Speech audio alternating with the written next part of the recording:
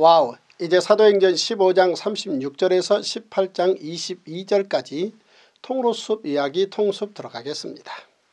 첫 번째 포인트 바울은 예루살렘 공회의 공문에 우리의 사랑받는 바울 기록 덕분에 단독으로 전도팀을 꾸려 2차 전도 여행을 떠나게 됩니다.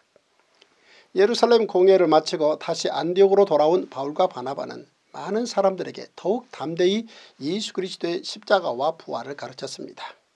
바울과 바나바는 안디옥에서 유하며 수다한 사람들과 함께 주의 말씀을 가르치며 전파하니라. 그런데 그렇게 수일을 보내다가 바울이 바나바에게 또 다시 전도 여행을 떠나자고 제안을 합니다. 1차 전도 여행 중에 죽을 만큼 고생을 했음에도 불구하고 그곳을 다시 찾아가자는 것입니다. 바울이 이처럼 제안하자 바나바도 바울의 말에 동의합니다. 정말 못 말리는 사람들이 아닐 수 없습니다. 그런데 두 사람 사이에 이견이 생깁니다. 다름이 아니라 바로 바나바의 조카 마가의 동행 문제였습니다. 마가는 1차 전도 여행 도중 구브로에서 함께 복음을 전한 후에 바울과 바나바와 함께 비시디아 안디옥으로 가지 않고 예루살렘으로 돌아왔던 일이 있었습니다. 바나바가 이번 전도 여행에도 마가를 데려가자고 하자 이를 바울이 반대하며 문제를 삼습니다. 그런데 바울과 바나바 두 사람이 마가 문제에 대해 끝내 합의하지 못하고 결국 두 개의 전도팀이 각자 2차 전도 여행을 떠나게 되었습니다. 그런데 여기서 만약 예루살렘 공회에서 바울이 우리가 사랑하는 바울이라는 결의를 받지 못했다면 당시 바울에 대한 여러 분위기상 바울이 혼자 전도팀을 꾸리는 것이 쉽지 않았을 것입니다. 그런데 다행하게도 예루살렘 공회를 통해 바나바도 우리가 사랑하는 형제이고 바울 또한 우리가 사랑하는 형제가 되었기 때문에 이제는 바울도 당당하게 단독으로 전도팀을 꾸려 나갈 수 있게 된 것입니다. 바나바는 마가와 한 팀을 이루어 1차 전도여행 때 첫 목적지였던 구브로로 향합니다. 며칠 후에 바울이 바나바더러 말하되 우리가 주의 말씀을 전한 각 성으로 다시 가서 형제들이 어떠한가 방문하자 하고 바나바는 마가라 하는 요한도 데리고 가고자 하나 바울은 밤빌리아에서 자기를 떠나 함께 일하러 가지 아니한 자를 데리고 가는 것이 옳지 않다 하여 서로 심히 다투어 피차 갈라서니 바나바는 마가를 데리고 배 타고 구브로로 가고 그러자 바울은 예루살렘 교회로부터 안디옥으로 함께 파송받았던 신라와 한 팀을 이루어 수리아와 길리기아로 출발합니다. 바울은 신라를 택한 후에 형제들에게 주의 은혜의 부탁함을 받고 떠나 수리아와 길리기아로 다니며 교회들을 견고하게 하니라. 여기에서부터 바나바와 마가의 전도 사역은 사도행전에서 더 이상 기록되지 않습니다. 왜냐하면 사도행전의 저자 누가는 사도 바울이 신라와 함께 떠난 2차 전도여행 도중에 드로아에서 만나 바울과 함께 동역하기 시작하면서 사도 바울 전도팀을 중심으로 사도행전을 기록했기 때문입니다. 그러나 이후 사도 바울이 로마에서 죽음을 앞두고 디모데에게 쓴 편지를 보면 마가는 바나바와 2차 전도팀으로 정말 훌륭한 복음 전도자로 잘 성장했음을 충분히 추측할 수 있습니다. 이후 마가는 예수님에 관한 최초의 복음서 마가복음을 썼고 죽음을 앞둔 사도 바울이 복음을 위해 가장 유익한 사람이라고 마가를 지목하여 데려오라고 했기 때문입니다. 누가만 나와 함께 있느니라. 내가 올 때 마가를 데리고 오라. 그가 나의 일에 유익하니라. 두 번째 포인트 바울은 1차 전도 여행지들을 재방문하여 예루살렘 공유의 결과를 전하며 교회들에게 도움과 용기를 줍니다. 신라와 함께 떠난 사도 바울의 2차 전도 여행의 첫 도착지는 1차 전도 여행 때 어려움을 많이 겪었던 더베와 루스드라였습니다. 그런데 그곳에서 디모데를 만나게 되고 디모데는 사도 바울의 제자가 됩니다. 디모데의 아버지는 헬라 사람이었고 어머니는 유대 사람이었습니다. 그런데 디모데가 가정에서 얼마나 교육을 잘 받았는지 루스드라와 이구니온에 있는 성도들에게까지 칭찬이 자자할 정도였습니다. 바울이 더베와 루스드라에도 이름에 거기 디모데라 하는 제자가 있으니 그 어머니는 믿는 유대 여자요 아버지는 헬라이니라. 디모데는 루스드라와 이고니온에 있는 형제들에게 칭찬받는 자니 바울이 그를 데리고 떠나고자 할세 그 지역에 있는 유대인으로 말미암아 그를 데려다가 할례를 행하니 이는 그 사람들이 그의 아버지는 헬라인인 줄 다 알미러라. 사도 바울은 디모데를 전도팀에 합류시켰습니다. 그리고 디모데의 아버지가 헬라인이라는 사실이 널리 알려져 있으므로 디모데에게는 할례를 받게 하여 외부에 사소한 말이라도 생기지 않게 단속을 했습니다. 그러나 이후에 사도 바울은 이방인인 디도에게는 할례를 받게 하지 않았습니다. 그러나 나와 함께 있는 헬라인 디도까지도 억지로 할례를 받지 않게 하였으니 사도 바울은 디모데까지 전도팀에 합류를 시키고 1차 전도 여행 때 전도했던 곳들을 재방문해 예루살렘 공회의 결정을 전달하며 교회가 더욱 굳게 설 수 있도록 도왔습니다. 그러자 여러 교회들의 성도들이 믿음이 더욱 굳건해지고 예수를 주라 고백하는 사람들의 수가 매일 늘어갔습니다. 여러 성으로 다녀갈 때에 예루살렘에 있는 사도와 장로들이 작정한 규례를 그들에게 주어 지키게 하니 이에 여러 교회가 믿음이 더 굳건해지고 수가 날마다 늘어가니라. 세 번째 포인트 바울 전도팀은 성령의 인도하심에 따라 유럽으로 건너가 복음을 전합니다. 사도 바울은 소아시아의 더 많은 지역을 전도할 계획을 세웠으나 예수의 영이 허락하지 않으셨습니다. 성령이 아시아에서 말씀을 전하지 못하게 하시거늘 그들이 부르기아와 갈라디아 땅으로 다녀가 무시아 앞에 이르러 비두니아로 가고자 애쓰되 예수의 영이 허락하지 아니하시는지라. 바울의 전도 계획에 앞서 성령께서는 더 필요한 곳으로 바울을 인도하십니다. 바울이 드로아에서 마게도냐로 가라는 환상을 보게 됩니다. 밤에 환상이 바울에게 보이니 마게도냐 사람 하나가 서서 그에게 청하여 이르되 마게도냐로 건너와서 우리를 도우라 하거늘 바울이 그 환상을 보았을 때 우리가 곧 마게도냐로 떠나기를 힘쓰니 이는 하나님이 저 사람들에게 복음을 전하라고 우리를 부르신 줄로 인정함이라라. 바울 전도팀이 마게도냐로 가게 된 것은 이렇게 성령 예수의 영을 통해 하나님께서 주신 계획이셨습니다. 여기에서 마게도냐는 발칸반도 그리스 북쪽에 위치한 알렉산더의 나라입니다. 마게도냐는 당시에 로마의 속주로 빌립보, 암비볼리, 데살로니가 그리고 베레아 등의 도시들이 이 지역에 위치해 있었습니다. 한편 사도 바울은 도로아에서 우리가 곧 마게도냐로 떠나기를 힘쓰니 라고 표현하면서 우리라는 말을 사용하였는데 이는 트로아에서 누가가 합류했기 때문입니다. 그러므로 트로아에서의 우리는 바울과 신라, 디모데 그리고 누가를 지칭합니다. 우리가 드로아에서 배로 떠나 사모드라게로 직행하여 이튿날 레아볼리로 가고 두 명에서 시작해 네 명이 된 사도 바울 전도팀은 이제 성령의 인도하심으로 아시아에서 유럽의 마게도니아로 넘어갑니다. 바울의 전도팀이 트루아에서 배를 타고 네아폴리를 거쳐 마침내 도착한 곳은 마게도냐의 빌리보였습니다. 이곳에서 자색 옷감을 파는 루디아를 만나 전도합니다. 도아디아시에 있는 자색 옷감 장사로서 하나님을 섬기는 루디아라 하는 한 여자가 말을 듣고 있을 때에 주께서 그 마음을 열어 바울의 말을 따르게 하신지라. 그와 그 집이 다 세례를 받고 우리에게 청하여 이르되 만일 나를 주 믿는 자로 알거든 내 집에 들어와 유하라 하고 강권하여 머물게 하니라. 바울이 마게도니아 첫성 빌립보에서 이렇게 복음을 전합니다. 이후 빌립보 교회는 바울의 큰 지지대가 되어줍니다. 너희가 첫날부터 이제까지 복음을 위한 일에 참여하고 있기 때문이라. 내게는 모든 것이 있고 또 풍부한지라 에바브로 디도편에 너희가 준 것을 받음으로 내가 풍족하니 이는 받으실 만한 향교로운 재물이요 하나님을 기쁘시게 한 것이라. 바울 전도팀은 루디아의 집에 머물다가 어느 날 귀신 들린 점치는 여종을 고쳐준 이유로 그 여종 주인 로마인에게 고발당해 많이 맞고 감옥에 갇히게 됩니다. 이같이 여러 날을 하는지라 바울이 심히 괴로워하여 돌이켜 그 귀신에게 이르되 예수 그리스도의 이름으로 내가 내게 명하노니 그에게서 나오라 하니 귀신이 즉시 나오니라.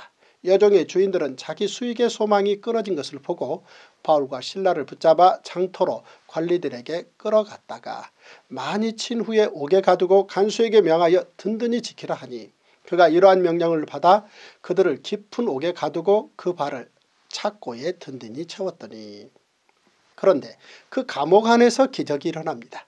한밤중에 바울과 신라가 기도하고 하나님을 찬송하며 죄수들이 듣더라. 이에 갑자기 큰 지진이 나서 옥토가 움직이고 문이 다 열리며 모든 사람의 메인 것이 다 벗어진지라. 사실 이 기적은 하나님께서 감옥의 간수를 구원하시기 위함이었습니다. 이 일로 말미암아 바울과 신라는 감옥의 간수와 그 가정을 전도하게 됩니다. 간수가 등불을 달라고 하며 뛰어들어가 무서워 떨며 바울과 신라 앞에 엎드리고 그들을 데리고 나가 이르되 선생들이여 내가 어떻게 하여야 구원을 받으리까 하거늘 이르되 주 예수를 믿어라 그리하면 너와 내 집이 구원을 받으리라 하고 주의 말씀을 그 사람과 그 집에 있는 모든 사람에게 전하더라. 사도 바울은 감옥 관수를 구하기 위해 바울과 신라가 로마 시민권자임을 밝혀서 문제없이 석방됩니다.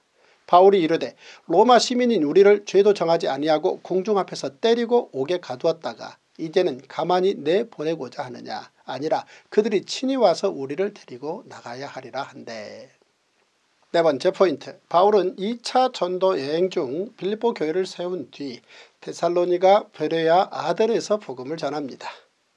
사도 바울 전도팀은 빌립보에서 자색 옷감 장사 루디아와 그녀의 가정, 귀신 들린 점치는 여종, 그리고 간수장과 그의 가족에게 복음을 전하고 빌립보 교회를 세웁니다. 그리고 데살로니가로 갑니다. 데살로니가에서는 헬라인의 큰 무리와 적지 않은 귀부인들을 전도하게 됩니다. 그들이 암비볼리와 아볼로니아로 다녀가 데살로니가에 이르니 거기 유대인의 회당이 있는지라 바울이 자기의 관례대로 그들에게로 들어가서 새 안식일에 성경을 가지고 강론하며 뜻을 풀어 그리스도가 해를 받고 죽은 자 가운데서 다시 살아나야 할 것을 증언하고 이르되 내가 너에게 전하는 이 예수가 곧 그리스도라 하니 그 중에 어떤 사람 곧 경건한 헬라인의 큰 무리와 적지 않은 귀부인도 권함을 받고 바울과 신라를 따르나. 그런데 데살로니가에서 바울 전도팀은 유대인들에게 큰 박해를 당하게 됩니다. 그러나 유대인들은 시기하여 저자의 어떤 불량한 사람들을 데리고 때를 지어 성을 소동하게 하여 야손의 집에 침입하여 그들을 백성에게 끌어내려고 찾았으나 데살로니가에서 바울 전도팀을 숨겨주었던 야손과 몇 형제들이 읍장들 앞에서 곤욕을 치르게 됩니다. 때문에 바울 전도팀은 3주간 밖에 데살로니가에 있지 못하고 밤중에 도망 나와 베레아로 갔습니다. 야손과 그 나머지 사람들에게 보석금을 받고 놓아주니라. 밤에 형제들이 곧 바울과 신라를 베레아로 보내니 그들이 이르러 유대인의 회당에 들어가니라. 바울 전도팀은 베레아에서 신사적인 사람들을 만납니다. 이들은 성경을 상고하며 복음을 받아들입니다.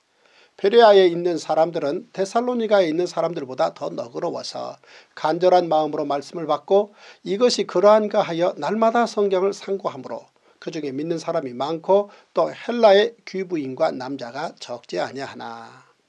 그런데 바울 전도팀이 베레아에서 복음을 전하자 데살로니가의 유대인들이 베레아까지 찾아와 복음 전하는 것을 방해합니다. 그러자 바울은 신라와 디모데는 베레아에 남겨두고 먼저 떠납니다.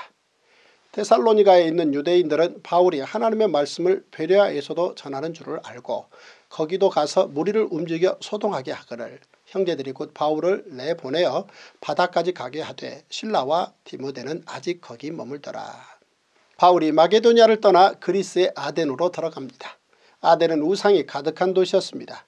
그러나 바울과 누가는 그러한 아덴의 회당과 장터에서 날마다 복음을 전파했습니다. 바울이 아덴에서 그들을 기다리다가 그 성에 우상이 가득한 것을 보고 마음에 격분하여 회당에서는 유대인과 경건한 사람들과 또 장터에서는 날마다 만나는 사람들과 변론하니 어떤 에피크로스와 스토아 철학자들도 바울과 쟁론할세 어떤 사람은 이르되 이 말쟁이가 무슨 말을 하고자 하느냐 하고 어떤 사람은 이르되 이방신들을 전하는 사람인가 보다 하니 이는 바울이 예수와 부활을 전하기 때문이라라. 하루는 바울이 아덴의 아레오바고 즉 아테네 광장에서 예수를 증거합니다. 바울이 아레오바고 가운데 서서 말하되 아덴 사람들아 너희를 보니 범사에 종교심이 많도다. 바울이 아테네 광장에서 전한 내용은 다음과 같습니다. 첫째, 하나님은 창조주의심을 전했습니다.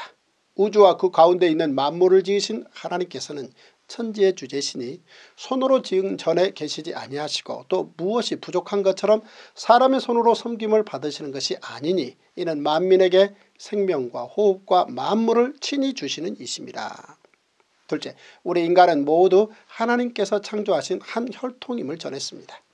인류의 모든 족속을 한 혈통으로 만드사 온 땅에 살게 하시고 그들의 연대를 정하시며 거주의 경계를 한정하셨으니 이는 사람으로 혹 하나님을 더듬어 찾아 발견하게 하려 하심이로되 그는 우리 각 사람에게서 멀리 계시지 아니하도다. 우리가 그를 힘입어 살면 기동하며 존재하느니라. 너희 시인 중 어떤 사람들의 말과 같이 우리가 그의 소생이라 하니 셋째 심판날과 예수 그리스도의 죽으심과 부활을 가르치며 회개를 촉구했습니다. 알지 못하던 시대에는 하나님이 간과하셨거니와 이제는 어디든지 사람에게 다 명하사 회개하라 하셨으니 이는 정하신 사람으로 하여금 천하를 공의로 심판하실 날을 작정하시고 이에 그를 죽은 자 가운데서 다시 살리신 것으로 모든 사람에게 믿을 만한 증거를 주셨음이니라 하니라. 그러나 아덴 사람들은 사도 바울의 메시지를 듣고 그다지 좋은 반응을 보이지 않았습니다. 그래서 바울이 아덴을 떠납니다.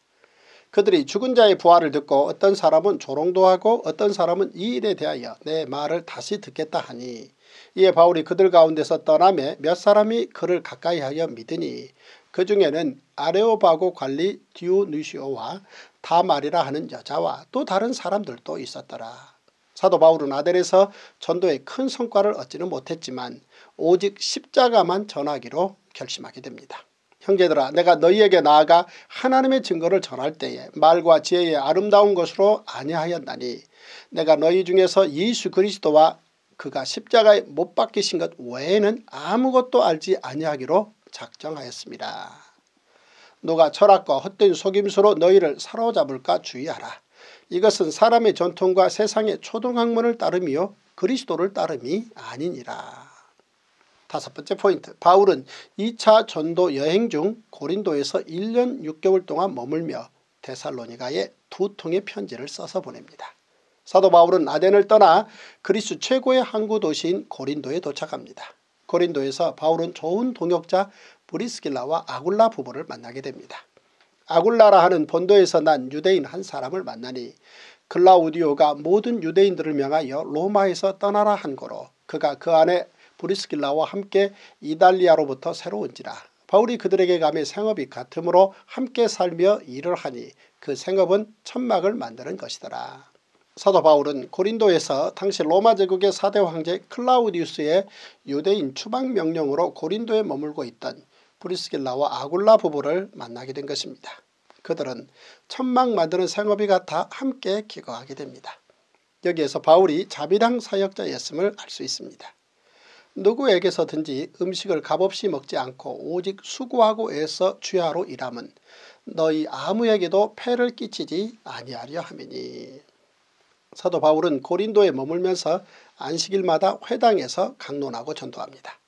안식일마다 바울이 회당에서 강론하고 유대인과 헬라인을 권면하니라.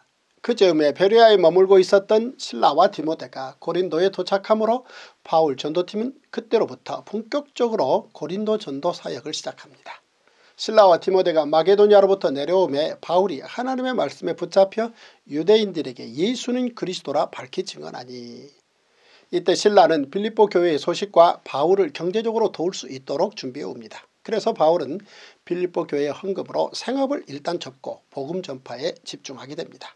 그리고 디모데는 데살로니가 교회의 소식을 가지고 오므로 그래서 바울은 이때 데살로니가 전서와 후서를 쓰게 됩니다. 그러나 너희가 내 괴로움에 함께 참여하였으니 잘하였도다. 빌립보 사람들아 너희도 알거니와 복음의 시초에 내가 마게도냐를 떠날 때에 주고받는 내 일에 참여한 교회가 너희 외에 아무도 없었느니라. 지금은 디모데가 너희에게로부터 와서 너희 믿음과 사랑의 기쁜 소식을 우리에게 전하고 또 너희가 항상 우리를 잘 생각하여 우리가 너희를 간절히 보고자 함과 같이 너희도 우리를 간절히 보고자 한다 하니 바울 전도팀은 고린도에서 유대인들의 지독한 전도 방해와 박해로 인해 유대인들에 대한 전도를 포기합니다. 대신 바울은 고린도에서 이방인들을 향한 전도의 포문을 엽니다. 그때 디도 유수도가 고린도 교회를 세우는데 초석이 되어줍니다. 그들이 대적하여 비방하거늘 바울이 옷을 털면서 이르되 너희 피가 너희 머리로 돌아갈 것이요 나는 깨끗하니라. 이후에는 이방인에게로 가리라 하고 거기서 옮겨 하나님을 경외하는 디도 유수도라 하는 사람의 집에 들어가니 그 집은 회당 옆이라.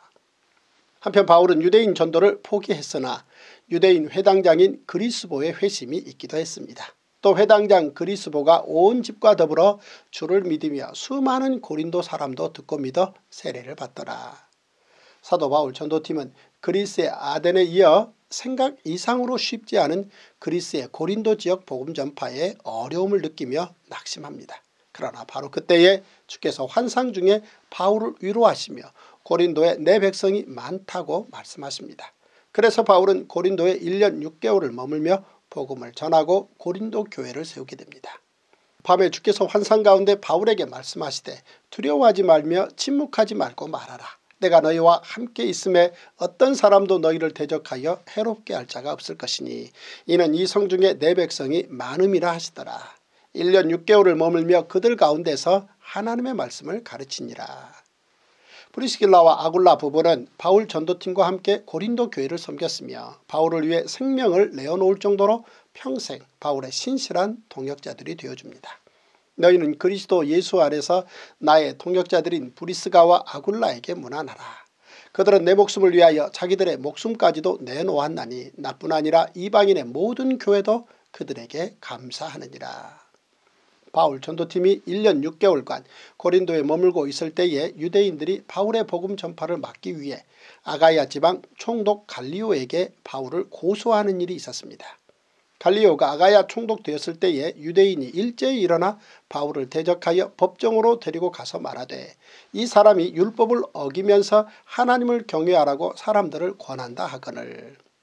그러나 이 고소권은 기각으로 끝납니다. 그리고 갈리오의 판결이 선례가 되어 바울팀은 그 이후 로마 제국하에 있는 어떤 지역을 다니든지 로마와는 큰 어려움 없이 다닐 수 있게 됩니다. 만일 문제가 언어와 명칭과 너희 법에 관한 것이면 너희가 스스로 처리하라. 나는 이러한 일에 재판장 되기를 원하지 아니하노라 하고 그들을 법정에서 쫓아내니. 이렇게 바울 전도팀의 2차 전도여행은 마침내 종료됩니다. 가이사라에 상륙하여 올라가 교회의 안부를 물은 후에 안디옥으로 내려가서 2차 전도여행을 마치고 3차 전도여행을 다시 시작하기 전까지 사도 바울은 다음과 같은 일들을 합니다. 첫째, 갱그리아에서 특별 서원한 일로 머리를 깎습니다. 이때 사도 바울은 일정 기간 나시린 서원을 했던 것으로 보입니다. 그 기간이 끝나 의식을 행한 것 같습니다. 둘째 에베소에서 잠시 복음을 전하고 후일을 약속하며 떠납니다. 이후 3차 전도 여행 때 에베소에 와서 3년 정도를 그곳에서 사역하게 됩니다. 셋째 예루살렘 교회에 가서 전도 여행을 보고합니다. 가이사라에 상륙하여 올라가 교회의 안부를 물은 후에 안디옥으로 내려가서 이는 가이사라에서 예루살렘 교회로 가서 2차 전도 여행에 대해 보고했다는 것입니다.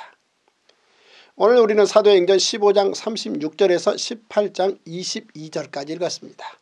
바울의 1차 전도 여행은 2년에 걸친 소아시아 지역 전도였습니다. 그리고 바울의 2차 전도 여행은 3년에 걸쳐 1차 전도 여행지 재방문과 유럽 지역인 마게도냐로 건너가 빌립보에서 전도하고 데살로니가에서 전도하고 베레아에서 전도하고 아덴에서 전도하고 고린도에서는 1년 6개월을 머물면서 전도하고 안디옥으로 돌아오는 길에 에베소에 들러 전도하고 예루살렘 교회에 가서 전도 보고를 합니다.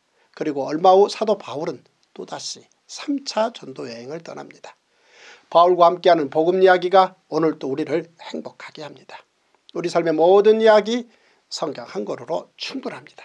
그러므로 오늘도 세상 뉴스를 넘어 good news 성경으로 행복하시고 good news 성경으로 승리하시는 멋진 하루 되십시오. Wow! Wow 이제 데살로니가 전서 1장에서 5장 통으로 숲 이야기 통숲 들어가겠습니다. 첫 번째 포인트 성경에는 많은 편지가 들어있습니다. 문학에는 5대 장르가 있습니다. 시, 소설, 수필, 희곡 그리고 평론입니다. 그런데 성경에 많이 등장하는 편지는 이 다섯 개의 문학 장르 중 수필 문학의 일부로 구분됩니다. 편지란 특정 대상에게 전하고 싶은 소식, 안부, 용무 등을 적어 보내는 글로 다음과 같은 특징을 가지고 있습니다. 첫째, 대상이 정해져 있습니다. 둘째, 상대에 따라 문장이 달라지며 예절을 지키는 글을 사용합니다. 셋째, 일정한 구성 양식이 있습니다. 즉 수신인 첫 인사, 내용, 끝 인사, 쓴 날짜 그리고 발신인입니다. 넷째, 실용적인 글로 수필의 종류입니다. 다섯째, 사적 편지와 공적 편지로 구분됩니다. 역사적으로 유명한 편지의 한 예를 든다면 로마 제국의 청사제를 만든 율리우스 카이사르가 파르티아의 파르나케스 2세와의 전투에서 승리한 후 내전 중에 로마 시민과 원로원에게 보낸 편지로 그 서두를 보면 왔노라 보았노라 이겼노라 라고 쓰여 있는데 이 말은 아직까지도 광고 카피로 쓰일 정도로 유명합니다.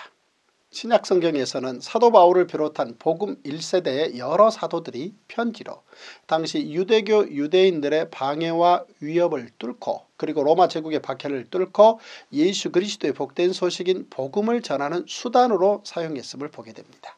오늘은 바울의 첫 번째 편지인 데살로니가 전설을 살펴볼 것인데 그 전에 구약성경과 신약성경에 나오는 조서 편지들을 살펴보겠습니다.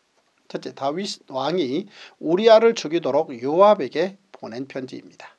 그 편지에 써서 이르기를 너희가 우리아를 맹렬한 싸움에 앞세워두고 너희는 뒤로 물러가서 그로 맞아 죽게 하라 하였더라. 둘째 이세벨 왕후가 나봇을 죽이고 포도원을 갈취하기 위해 성읍 장로들과 귀족들에게 보낸 편지입니다. 그의 아내 이세벨이 그에게 이르되 왕이 지금 이스라엘 나라를 다스리시나이까? 일어나 식사를 하시고 마음을 즐겁게 하소서.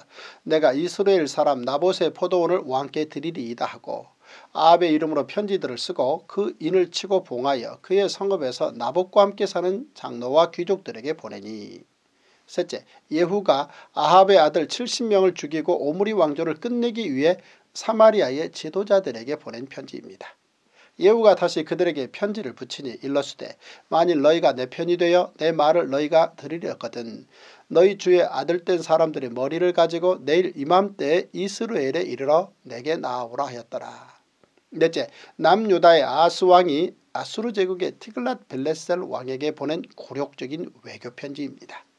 아스가 아수르 왕 디글랏 빌레셀에게 사자를 보내 이르되 나는 왕의 신복이요 왕의 아들이라 이제 아람 왕과 이스라엘 왕이 나를 치니 청하건대 올라와 그 손에서 나를 구원하소서 하고 다섯째 아수르 제국의 사네립 왕이 남유다의 히스기야 왕에게 보낸 편지입니다. 히스기야가 사자의 손에서 편지를 받아보고 여호와의 성전에 올라가서 히스기야가 그 편지를 여호와 앞에 펴놓고 여섯째 바벨론 제국의 프로닥 발라단 왕이 남유다의 히스기야 왕에게 보낸 편지입니다. 그때 발라단의 아들 바벨론의 왕 프로닥 발라단이 히스기야가 병들었다 함을 듣고 편지와 예물을 그에게 보낸지라. 일곱째 이스라엘 남과 북이 유월절을 함께 지키고자 남유다의 히스기야 왕이 북이스라엘로 보낸 편지입니다. 히스기야가 온 이스라엘과 유다의 사람을 보내고 또 에브라임과 문하세에 편지를 보내어 예루살렘 여호와의 전에 와서 이스라엘 하나님 여호와를 위하여 유월절을 지키라 하니라. 여덟째 예레미야 선지자가 바벨론 포로가 된 남유다 백성들에게 극상품 무화과 열매가 되게 하기 위해 보낸 편지입니다. 그가 바벨론에 있는 우리에게 편지하기를 오래 지내야 하리니 너희는 집을 짓고 살며 밭을 일구고 그 열매를 먹어라 하셨다 하니라. 아홉째 산발랏이 느에미아를 모함한 편지입니다. 산발랏이 다섯 번째는 그 종자의 손에 봉하지 않은 편지를 들려 내게 보냈는데 그 글에 이르기를 이방 중에도 소문이 있고 가스무도 말하기를 너와 유다 사람들이 모반하려 하여 성벽을 건축한다 하나니 내가 그 말과 같이 왕이 되려 하는도다. 열째 에스더 왕후와 모르드게가 불임절을 지키기 위해 유다인들에게 보낸 편지입니다. 화평하고 진실한 말로 편지를 써서 아수에로의 나라 127지방에 있는 유다 모든 사람에게 보내요. 이제 신약성경의 편지들을 살펴보겠습니다. 신약성경의 편지들은 주로 복음을 전하는 데 효과적으로 사용되었습니다. 첫째 누가의 편지입니다. 누가복음은 데오빌로에게 예수님을 전하기 위해 쓴 편지이고 사도행전은 데오빌로에게 사도들의 사역을 알리기 위해 쓴 편지입니다. 둘째 사도 바울의 편지입니다. 데살로니가 전 후서는 데살로니가 교회에 갈라디아서는 갈라디아 지방의 교회에 고린도 전후서는 고린도 교회에 로마서는 로마 교회에 에베소서는 에베소 교회에 빌립보서는 빌립보 교회에 골로새서는 골로새 교회에 빌레몬서는 빌레몬 개인에게 디모데 전후서는 디모데 개인에게 디도서는 디도 개인에게 보낸 복음 편지였습니다. 셋째 공동서신 9건의 편지입니다. 공동서신 9건은 히브리서, 야고보서, 베드로 전후서, 유다서, 요한 1, 2, 3서, 요한계시록으로 AD 64년 로마 대화제 사건 전후로 로마 제국에 의한 기독교의 박해로 성도들의 믿음이 흔들리고 배교의 위험과 이단의 어려움이 있었을 때에 그리스도인들의 믿음을 굳게 하기 위해 사도들과 복음 1세대 지도자들이 성도들에게 써보낸 편지들입니다. 두 번째 포인트 바울은 2차 전도 여행 기간 중 고린도에서 테살로니가 전후서와 갈라디아서를 써서 보냈습니다. 바울의 편지를 한마디로 정의하자면 은혜와 평강의 편지라 할 수 있습니다. 사도 바울은 자신이 보낸 모든 편지에 은혜와 평강이라는 단어를 빠짐없이 쓰고 있기 때문입니다. 이는 대제사장 아론의 강복을 기억하며 1500년 후 그 방식으로 그리스도인들을 축복한 것입니다. 아론의 강복입니다.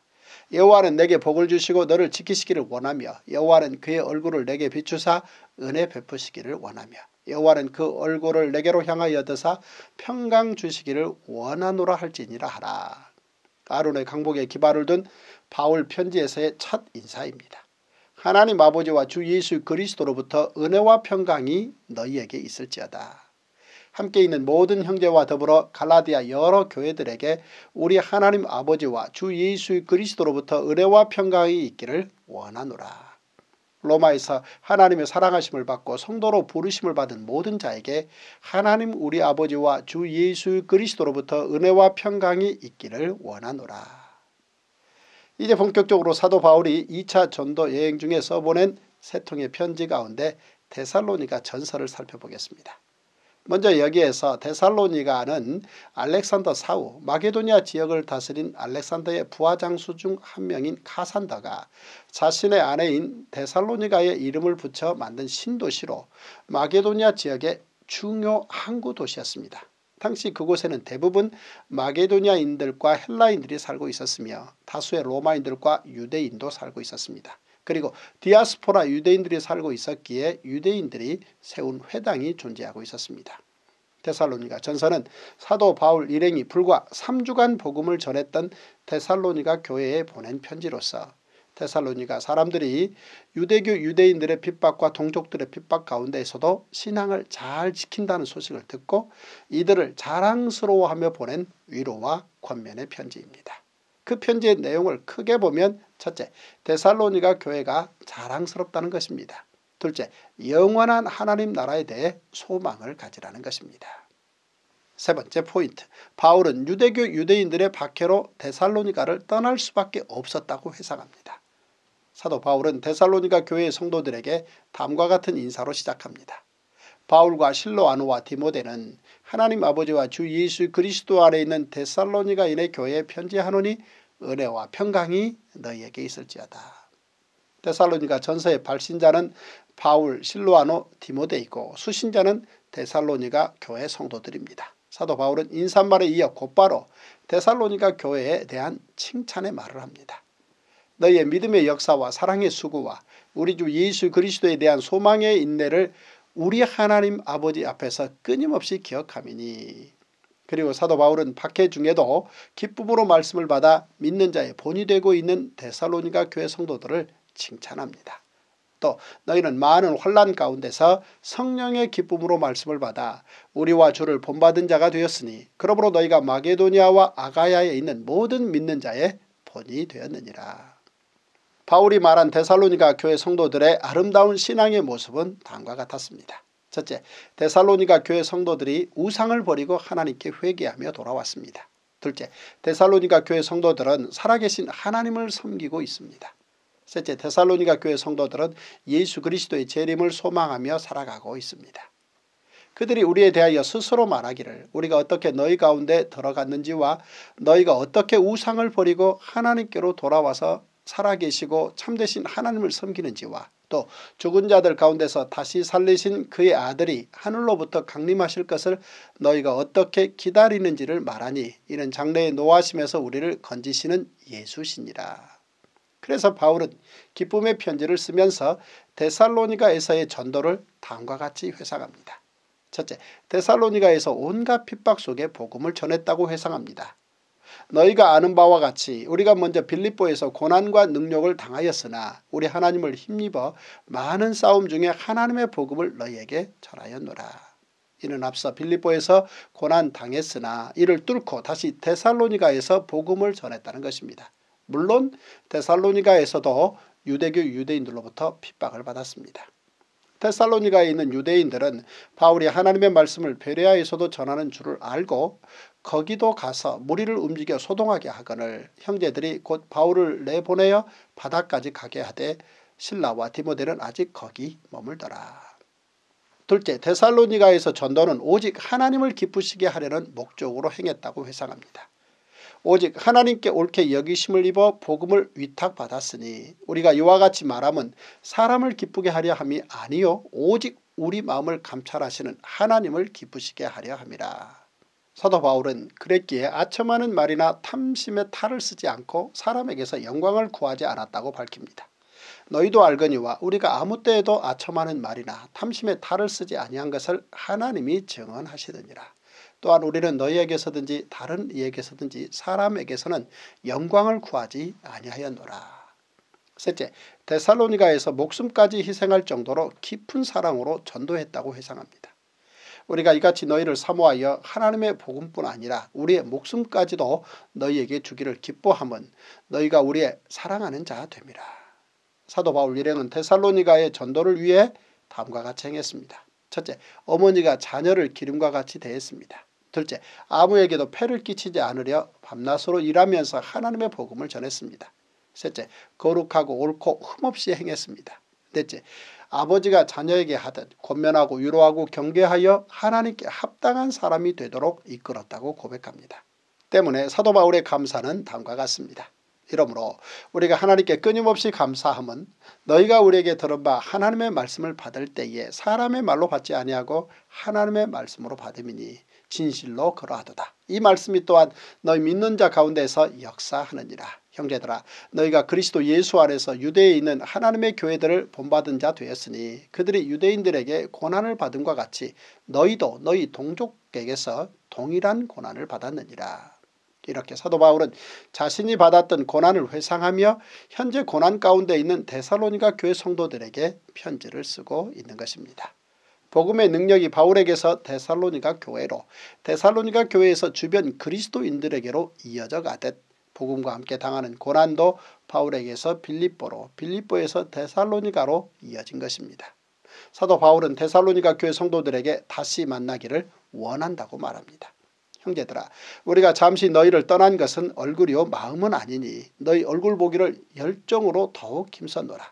그러므로 나 바울은 한 번 두 번 너희에게 가고자 하였으나 사탄이 우리를 막았도다. 이는 사도 바울이 아덴과 고린도 등에서 데살로니가 방문을 계속 시도했으나 여러 방해로 가지 못했음을 말한 것입니다. 네 번째 포인트 바울은 디모데를 세워 데살로니가 교회와 소식을 주고받습니다. 사도 바울이 고린도에서 데살로니가 전서를 쓰게 된 이유는 바울이 누가와 함께 아덴에 있을 때에 데살로니가 교회 성도들이 매우 걱정이 되어 직접 가고 싶었지만 그럴 형편이 되지 못하자 베레아에 머물게 했었던 디모데를 데살로니가에 보내 소식을 듣고자 했습니다. 그런데 놀랍게도 디모데가 데살로니가로부터 기쁘고 감사한 소식을 가지고 온 것입니다.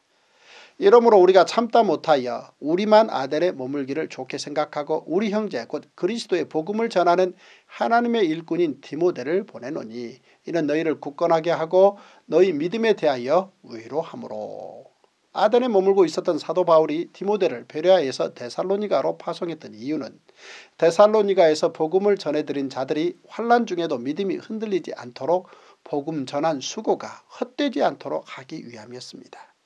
이러므로 나도 참다 못하여 너희 믿음을 알기 위하여 그를 보내었노니 이는 혹 시험하는 자가 너희를 시험하여 우리 수고를 헛되게 할까 함이니 여기에서 참다 못하여는 사도 바울의 간절한 마음의 표현일 것입니다. 이후 사도 바울은 디모데가 데살로니가로부터 가지고 온 소식을 듣고 기뻐했습니다.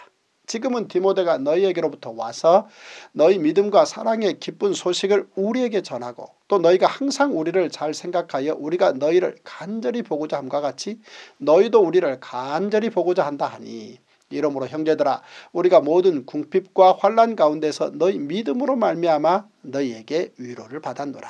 그러므로 너희가 주 안에 굳게 선즉 우리가 이제는 살리라. 사도 바울은 디모데가 데살로니가의 소식을 가지고 오기 전까지 데살로니가의 성도들을 생각하며 많은 걱정을 했었다고 말합니다. 그런데 데살로니가 성도들에 대한 디모데의 보고는 믿음과 사랑의 기쁜 소식이 있었고 바울 일행을 간절히 보고 싶어 한다는 소식이었습니다. 이 소식을 전해들은 사도 바울은 다음과 같이 감사 기도와 중보 기도를 드립니다. 우리가 우리 하나님 앞에서 너희로 말미암아 모든 기쁨으로 기뻐하니 너희를 위하여 능히 어떠한 감사로 하나님께 보답할까 주야로 심히 간구함은 너희 얼굴을 보고 너희 믿음이 부족한 것을 보충하게 하려 함이라. 하나님 우리 아버지와 우리 주 예수는 우리 길을 너희에게로 갈 수 있게 하시오며 또 주께서 우리가 너희를 사랑함과 같이 너희도 피차간 모든 사람에 대한 사랑이 더욱 많이 넘치게 하사 너희 마음을 굳건하게 하시고 우리 주 예수께서 그의 모든 성도와 함께 강림하실 때에 하나님 우리 아버지 앞에서 거룩함에 흠이 없게 하시기를 원하노라. 계속해서 사도 바울은 데살로니가 교회 성도들에게 하나님 앞에서의 합당한 삶에 대해 권면합니다. 그러므로 형제들아 우리가 끝으로 주 예수 안에서 너희에게 구하고 권면하노니 너희가 마땅히 어떻게 행하며 하나님을 기쁘시게 할 수 있는지를 우리에게 배웠으니 곧 너희가 행하는 바라. 더욱 많이 힘쓰라. 우리가 주 예수로 말미암아 너희에게 무슨 명령으로 준 것을 너희가 아느니라. 테살로니가 교회 성도들이 사도 바울 일행에게 배운 것은 주 예수 안에서 주 예수로 말미암아 나온 것이었습니다. 즉 사도 바울은 예수님께 배운 것을 데살로니가 교회 성도들에게 전한다고 명확히 하고 있습니다. 그러므로 데살로니가 교회 성도들은 다음과 같이 행하라고 가르쳐줍니다. 첫째, 성결한 삶을 살라고 말합니다. 하나님이 우리를 부르심은 부정하게 하심이 아니요 거룩하게 하심이니 그러므로 저버리는 자는 사람을 저버림이 아니요 너희에게 그의 성령을 주신 하나님을 저버림이니라. 구체적으로는 거룩하게 살라는 것입니다. 이를 위해서는 음란을 버릴 것, 거룩과 존귀로 아내를 대할 것, 이방인과 같이 세격을 따르지 말 것, 그리고 형제를 해하지 말 것을 명령했습니다. 둘째, 서로 사랑하라고 말합니다. 형제 사랑에 관하여는 너희에게 쓸 것이 없음은 너희들 자신이 하나님의 가르치심을 받아 서로 사랑합니다. 이 부분은 너무나 잘하고 있는 부분이어서 그 영향이 마게도니아 전 지역에 모범이 되었습니다. 그러하니 더욱 잘하기를 기대한 것입니다. 너희가 온 마게도니아 모든 형제에 대하여 과연 이것을 행하도다. 형제들아 권하노니 더욱 그렇게 행하고 셋째 자신의 일을 성실히 하라고 말합니다. 또 너희에게 명한 것과 같이 조용히 자기 일을 하고 너희 손으로 일하기를 힘쓰라. 이는 외인에 대하여 단정히 행하고 또한 아무 궁핍함이 없게 하려 함이라. 사도 바울은 데살로니가 교회에 사랑을 당부합니다. 그런데 형제를 사랑하라는 바울의 권면은 손으로 자기의 일을 하라는 명령으로 이어집니다. 다시 말해 형제를 사랑하되 자신의 손으로 일하면서 구체적으로 사랑하라는 것입니다. 형제와 자매를 살아간다고 서로 고백하는 것은 어렵지 않습니다. 그러나 나의 손으로 한 사람을 위한 구체적인 배려를 하는 것은 너무도 어려운 일입니다. 그런데 더 깊은 사랑은 입술을 통한 고백이 아닌 땀과 눈물을 흘리는 사랑입니다. 예수님께서 우리를 사랑하시어 십자가에서 예수님의 피를 흘리셨습니다. 이것이 우리가 따라야 할 그리스도인의 사랑입니다. 다섯 번째 포인트. 바울은 데살로니가 교회가 소망 가운데 살게 하기 위해 재림과 성도의 부활에 대해 가르칩니다. 사도 바울은 데살로니가 교회 성도들에게 예수님의 재림과 성도들의 부활에 대해 가르칩니다. 우리가 예수께서 죽으셨다가 다시 살아나심을 믿을진데 이와 같이 예수 안에서 자는 자들도 하나님이 그와 함께 데리고 오시리라. 우리가 주의 말씀으로 너희에게 이것을 말하노니 주께서 강림하실 때까지 우리 살아남아 있는 자도 자는 자보다 결코 앞서지 못하리라. 주께서 호령과 천사장의 소리와 하나님의 나팔 소리로 친히 하늘로부터 강림하시리니 그리스도 안에서 죽은 자들이 먼저 일어나고 그 후에 우리 살아남은 자들도 그들과 함께 구름 속으로 끌어올려 공중에서 주를 영접하게 하시리니 그리하여 우리가 항상 주와 함께 있으리라. 그러므로 이러한 말로 서로 위로하라. 사도 바울이 데살로니가 교회 성도들에게 재림과 성도의 부활에 대해 이렇게 가르친 이유는 소망 가운데 살기를 원했기 때문입니다. 그러므로 사도 바울은 데살로니가 교회 성도들이 서로 위로하며 살 것을 권면한 것입니다. 또한 사도 바울이 데살로니가에 3주밖에 머물지 못해 더 많은 것을 가르치지 못한 이유도 있었을 것입니다. 사도 바울은 데살로니가 교회 성도들에게 계속해서 재림에 대해 가르칩니다. 형제들아 때와 시기에 관하여는 너희에게 쓸 것이 없음은 주의 날이 밤에 도둑같이 이를 줄을 너희 자신이 자세히 알기 때문이라.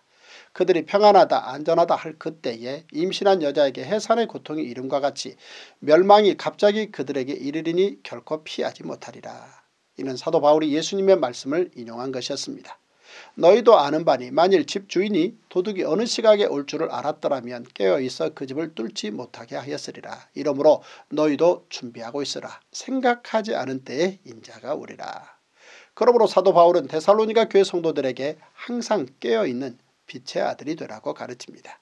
우리는 낮에 속하였으니 정신을 차리고 믿음과 사랑에 호심경을 붙이고 구원의 소망의 투구를 쓰자. 하나님이 우리를 세우심은 노하심에 이르게 하심이 아니요 오직 우리 주 예수 그리스도로 말미암아 구원을 받게 하심이라. 또한 사도 바울은 데살로니가 교회 성도들에게 서로 권면하고 서로 덕을 세우며 살라고 가르칩니다. 예수께서 우리를 위하여 죽으사 우리로 하여금 깨어있든지 자든지 자기와 함께 살게 하려 하셨느니라. 그러므로 피차 권면하고 서로 덕을 세우기를 너희가 하는 것 같이 하라. 이제 바울은 편지를 맺으면서 다음과 같이 마지막 권면을 합니다.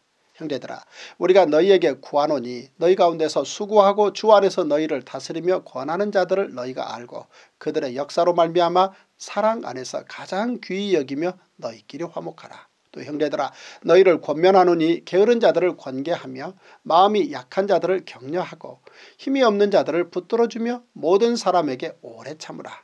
삼가 누가 누구에게든지 악으로 악을 갚지 말게 하고 서로 대하든지 모든 사람을 대하든지 항상 선을 따르라. 항상 기뻐하라 쉬지 말고 기도하라 범사에 감사하라 이것이 그리스도 예수 안에서 너희를 향하신 하나님의 뜻이니라. 성령을 소멸하지 말며 예언을 멸시하지 말고 범사에 헤아려 좋은 것을 취하고 악은 어떤 모양이라도 버리라. 그리고 사도 바울은 데살로니가 교회 성도들을 위해 중보 기도를 드립니다. 평강의 하나님이 친히 너희를 온전히 거룩하게 하시고 또 너희의 온 영과 혼과 몸이 우리 주 예수 그리스도께서 강림하실 때에 흠없게 보존되기를 원하노라. 너희를 부르시는 이는 미쁘시니 그가 또한 이루시리라. 여기에서는 그리스도 예수 안에서 인생들을 향하신 하나님의 뜻이 무엇인지 명확히 기록되어 있습니다. 깨어 정신을 차릴지라 화목하라 오래 참으라 악은 어떤 모양이라도 버리라. 바울의 말이 비록 편지라는 수단을 통해서 데살로니가 교회 성도들에게 전달됐지만 그들이 이 편지를 읽을 때에는 바울의 목소리를 직접 듣는 듯했을 것입니다. 하나님의 마음을 담은 바울의 권면은 주의 강림 때까지 그리스도인이라 불리는 사람들이 서로 순종하며 준행해야 할 삶의 내용들입니다.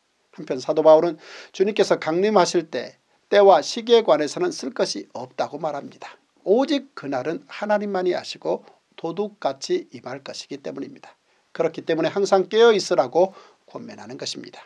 주께서 언제 강림하실지 모르기 때문에 자신의 모습을 돌아보아 등불을 들고 신랑을 기다리는 열처녀같이 항상 거룩한 모습으로 준비하고 있으라는 것입니다.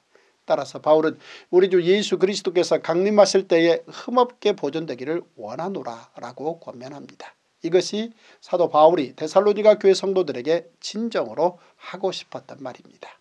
테서로니가 전서는 사도 바울의 인사와 축도로 끝을 맺습니다. 형제들아 우리를 위하여 기도하라. 거룩하게 입맞춤으로 모든 형제에게 문안하라. 내가 주를 힘입어 너희를 명하노니 모든 형제에게 이 편지를 읽어주라. 우리 주 예수 그리스도의 은혜가 너희에게 있을지어다. 여기에서 모든 형제에게 이 편지를 읽어주라 라는 것은 사도 바울의 편지가 일종의 회람 문서였음을 말합니다. 오늘 우리는 데살로니가 전서 1장에서 5장을 읽었습니다. 바울은 데살로니가 교인들에게 주님께서 강림하실 그날을 기다리며 피차 권면하고 서로의 덕을 세우는 일에 힘을 내라고 당부합니다. 주님 보시기에 합당한 그리스도인의 삶의 모습은 서로를 세워주며 오래 참고 선을 행하는 것입니다. 이것이 바로 오늘 우리를 향하신 하나님의 뜻입니다. 우리 삶의 모든 이야기 성경 한 권으로 충분합니다. 그러므로 오늘도 세상 뉴스를 넘어 good news 성경으로 행복하시고 good news 성경으로 승리하시는 멋진 하루 되십시오. Wow! Wow 이제 데살로니가 후서 1장에서 3장 통으로 숲 이야기 통숲 들어가겠습니다. 첫 번째 포인트 사도 바울은 데살로니가 후서를 시작하며 데살로니가 교회 성도들을 따뜻하게 칭찬해 줍니다. 데살로니가 전서가 바울이 데살로니가 교회 성도들에 관한 기쁜 소식을 전해 듣고 기뻐하며 미처 다하지 못한 재림에 대한 가르침을 담아 따뜻한 분위기로 써보낸 첫 번째 편지라면 데살로니가 후서는 재림에 대해 오해하는 일부 사람들에 관한 소식을 듣고 그들을 엄격하게 경고하며 성도들의 바른 신앙생활에 대해 써보낸 두 번째 편지입니다. 그리고 데살로니가 후서는 사도 바울이 교회들에게 써보낸 편지 중에서 가장 짧은 분량이지만 종말에 관한 매우 중요한 사실들이 기록되어 있습니다. 먼저 편지의 내용은 사도 바울의 인사로 시작됩니다. 바울과 실로아노와 디모데는 하나님 우리 아버지와 주 예수 그리스도 아래 있는 데살로니가인의 교회에 편지하노니 하나님 아버지와 주 예수 그리스도로부터 은혜와 평강이 너희에게 있을지어다. 데살로니가 후서의 발신자는 바울과 신라 디모데이고 수신자는 데살로니가 교회의 성도들입니다. 여기에서 바울이 표현한 하나님 우리 아버지는 예수님의 말씀대로 하나님 안에서 주를 믿는 모든 자들이 한 형제와 자매가 되었음을 말하는 것입니다. 이와 같은 이유로 사도 바울은 그의 모든 편지에서 수신자들에게 형제들아로 호칭하는 것을 보게 됩니다. 예수님의 기도 내용입니다. 아버지여 아버지께서 내 안에 내가 아버지 안에 있는 것 같이 그들도 다 하나가 되어 우리 안에 있게 하사 세상으로 아버지께서 나를 보내신 것을 믿게 하옵소서. 사도 바울은 편지의 서두 인사말에 이어 데살로니가 교회 성도들에게 감사와 칭찬의 말을 전합니다. 형제들아 우리가 너희를 위하여 항상 하나님께 감사할지니 이것이 당연함은 너희의 믿음이 더욱 자라고 너희가 다 각기 서로 사랑함이 풍성함이니 그러므로 너희가 견디고 있는 모든 박해와 환란 중에서 너희 인내와 믿음으로 말미암아 하나님의 여러 교회에서 우리가 친히 자랑하노라. 데살로니가 후서는 종말에 대한 잘못된 오해를 바로잡기 위해 데살로니가 교회에 쓴 엄한 편지였으나 바울은 먼저 데살로니가 교회 성도들을 칭찬하고 여러 교회에 자랑했다는 것과 이를 통해 하나님께 감사함을 전합니다. 사도 바울이 데살로니가 교회 성도들을 칭찬한 이유는 다음과 같은 이유 때문이었습니다. 첫째, 데살로니가 교회 성도들의 믿음이 많이 성장했기 때문입니다. 둘째, 데살로니가 교회 성도들의 사랑이 풍성했기 때문입니다. 셋째, 데살로니가 교회 성도들이 모든 박해와 환란을 견디는 인내와 믿음이 컸기 때문입니다. 이 같은 이유로 사도 바울은 데살로니가 교회 성도들에게 교훈과 훈계를 주기 전에 그들이 받아야 할 충분한 칭찬을 먼저 했던 것입니다. 두 번째 포인트 사도 바울은 핍박 가운데 있는 데살로니가 교회 성도들이 하나님의 부르심에 합당한 영광의 자리에 서게 될 것을 하나님께 간구합니다. 인사말과 칭찬에 이어 이제 사도 바울은 본론으로 들어가 데살로니가 교회 성도들에게 하나님의 공의의 심판에 대해 가르칩니다.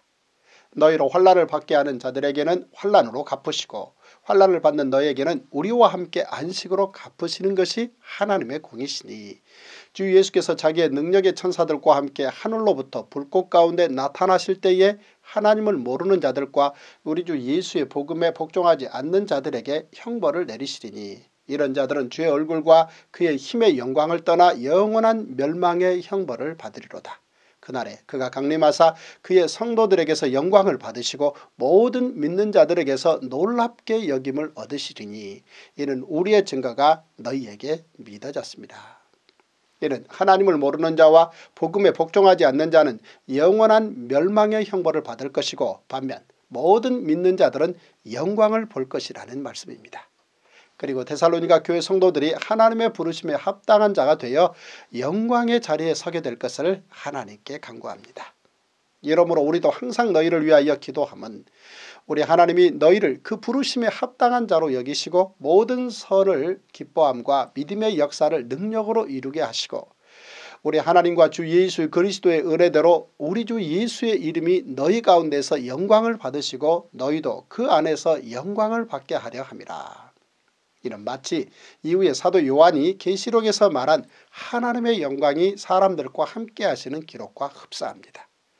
내가 들으니 보좌에서 큰 음성이 나서 이르되 보라 하나님의 장막이 사람들과 함께 있음에 하나님이 그들과 함께 계시리니 그들은 하나님의 백성이 되고 하나님은 친히 그들과 함께 계셔서 당시 데살로니가 교회 성도들은 사도 바울을 3주 만에 쫓아낸 세력들에 의해 극심한 박해와 환란 중에 있었습니다. 그러나 그들은 믿음으로 인내하고 있었던 것입니다. 그래서 사도 바울은 먼저 그들에게 믿음으로 인내하고 있음을 자랑스러워하고 있다는 사실을 알려주며 그들의 고통은 지나가는 시험이요 이를 위해 바울처럼 멀리서 기도하며 함께하는 이들이 있다는 것과 또 하나님께서 함께하시어 결국에는 보상해 주실 것이라고 위로합니다. 그리고 데살로니가 교회 성도들이 하나님의 부르심에 합당하게 살기를 간절히 기도합니다. 사도 바울은 데살로니가 교회 성도들이 하나님께서 그들을 부르신 목적을 쫓아 살아가기를 간구한 것입니다. 세 번째 포인트 사도 바울은 데살로니가 교회 성도들에게 재림과 종말에 대한 바른 자세를 가르쳐줍니다. 사도 바울은 데살로니가 교회 성도들 가운데 일부가 오해하고 있는 재림과 종말에 대해 설명하며 이를 대하는 바른 자세를 가르쳐줍니다. 형제들아 우리가 너희에게 구하는 것은 우리 주 예수 그리스도의 강림하심과 우리가 그 앞에 모임에 관하여 영어로나 또는 말로나 또는 우리에게서 받았다는 편지로나 주의 날이 이르렀다고 해서 쉽게 마음이 흔들리거나 두려워하거나 하지 말아야 한다는 것이라. 사도 바울이 데살로니가 교회 성도들에게 두 번째 편지를 쓴 이유는 재림의 날이 왔다는 잘못된 말에 흔들리거나 두려워하지 말라는 것입니다. 바울이 지난 첫 번째 편지에서 예수님의 재림이 멀지 않았으니 깨어 준비하라고 강조했던 이유는 테살로니가 교회 성도들이 예수님의 재림에 대해 의심하기 때문이었습니다. 또한 고난 가운데 있는 그들에게 큰 위로와 소망을 주기 위함이었습니다. 그런데 테살로니가 교회 성도들 가운데 일부가 바울의 편지를 보고 예수님의 재림이 얼마 남지 않았다고 생각하여 그만 마음의 중심을 잃고 일상에서 일탈해버리는 사람들이 생겨났던 것입니다. 이에 대한 사도 바울의 요청은 주의 날에 이르렀다고 해서 쉽게 마음이 흔들리거나 두려워하거나 하지 말아야 한다는 것이며 굳건하게 서서 말로나 우리의 편지로 가르침을 받은 전통을 지키라는 것입니다. 그러므로 계속해서 사도 바울은 데살로니가 교회 성도들에게 재림 전에 일어날 일에 대해 가르쳐줍니다. 누가 어떻게 하여도 너희가 미혹되지 말라. 먼저 배교하는 일이 있고 저 불법의 사람 곧 멸망의 아들이 나타나기 전에는 그날이 일이지 아니하리니 그는 대적하는 자라 신이라 불리는 모든 것과 숭배함을 받는 것에 대항하여 그 위에 자기를 높이고 하나님의 성전에 앉아 자기를 하나님이라고 내세우느니라. 이는 사도 바울이 예수님의 가르침을 전한 것이었습니다. 그때 많은 사람이 실족하게 되어 서로 잡아주고 서로 미워하겠으며 거짓 선지자가 많이 일어나 많은 사람을 미혹하겠으며 불법이 성함으로 많은 사람의 사랑이 식어지리라. 그러므로 너희가 선지자 다니엘이 말한 바 멸망에 가증한 것이 거룩한 곳에 선 것을 보거든 읽는 자는 깨달을진저 그때 유대에 있는 자들은 산으로 도망할지어다. 사도 바울이 데살로니가 교회 성도들에게 앞으로 있을 불법의 사람에 대해 가르친 내용은 다음과 같습니다. 첫째 불법의 세력들이 이미 비밀리에 활동하고 있을 것입니다. 둘째 그러나 막는 자가 이를 막을 것입니다. 셋째 막는 자의 활동이 중단되는 때가 되면 배교하는 일과 불법의 사람이 드러나게 나타날 것입니다. 불법의 사람 곧 악한 자는 모든 능력과 표적과 거짓 기적을 행하고 불의의 모든 속임을 펼칠 것입니다. 넷째 주 예수의 재림으로 불법의 사람은 이때 멸망할 것입니다. 이때 진리를 믿지 않고 불의를 좋아하는 자도 멸망할 것입니다. 이러므로 하나님이 미혹의 역사를 그들에게 보내사 거짓 것을 믿게 하심은 진리를 믿지 않고 불의를 좋아하는 모든 자들로 하여금 심판을 받게 하려 하십니다. 네 번째 포인트 사도 바울은 데살로니가 성도들에게 주의 재림의 때를 위한 최선의 준비는 기록된 성경으로 무장하는 것이라고 가르칩니다. 사도 바울은 이제 데살로니가 교회 성도들에게 다음과 같이 권면합니다. 주께서 사랑하시는 형제들아 우리가 항상 너희에 관하여 마땅히 하나님께 감사할 것은 하나님이 처음부터 너희를 택하사 성령의 거룩하게 하심과 진리를 믿음으로 구원을 받게 하심이니 이를 위하여 우리의 복음으로 너희를 부르사 우리 주 예수 그리스도의 영광을 얻게 하려 하심이니라. 그러므로 형제들아 굳건하게 서서 말로나 우리의 편지로 가르침을 받은 전통을 지키라. 그리고 바울은 데살로니가 교회 성도들을 위해 다음과 같이 기도합니다. 우리 주 예수 그리스도와 우리를 사랑하시고 영원한 위로와 좋은 소망을 은혜로 주신 하나님 우리 아버지께서 너희 마음을 위로하시고 모든 선한 일과 말에 굳건하게 하시기를 원하노라. 그리고 사도 바울은 마지막 때에 크고 작은 어두운 영들이 많은 이들을 미혹할 것이라고 말합니다. 거짓 능력과 거짓 표적과 거짓 이적으로 미혹할 것이며 영어로 혹은 말로 하나님의 권위를 대변하고자 할 것이며 자신이 하나님인 것처럼 유혹하는 어두운 세력이 일어날 것입니다. 그때를 위한 최선의 준비는 기록된 하나님의 말씀인 성경으로 무장하는 것입니다. 그래야만이 어떠한 유혹에도 흔들리지 않고 확실한 진리를 소유할 수 있기 때문입니다. 사도 바울은 데살로니가 교회 성도들에게 그동안 가르침을 받았던 전통 곧 자신이 그들에게 전해준 복음의 진리를 굳게 지키라고 권면합니다. 시대가 어두울수록 가치의 혼돈이 계속될수록 성도들이 더욱 붙잡아야 하는 것은 흔들리지 않는 영원한 진리의 말씀입니다. 이 말씀만이 우리의 영혼을 구원하며 이 말씀만이 우리 영혼을 새롭게 하기 때문입니다. 이렇게 데살로니가 교회 성도들을 위해 기도한 사도 바울은 이제 데살로니가 교회 성도들에게 바울 전도팀을 위한 기도를 부탁합니다.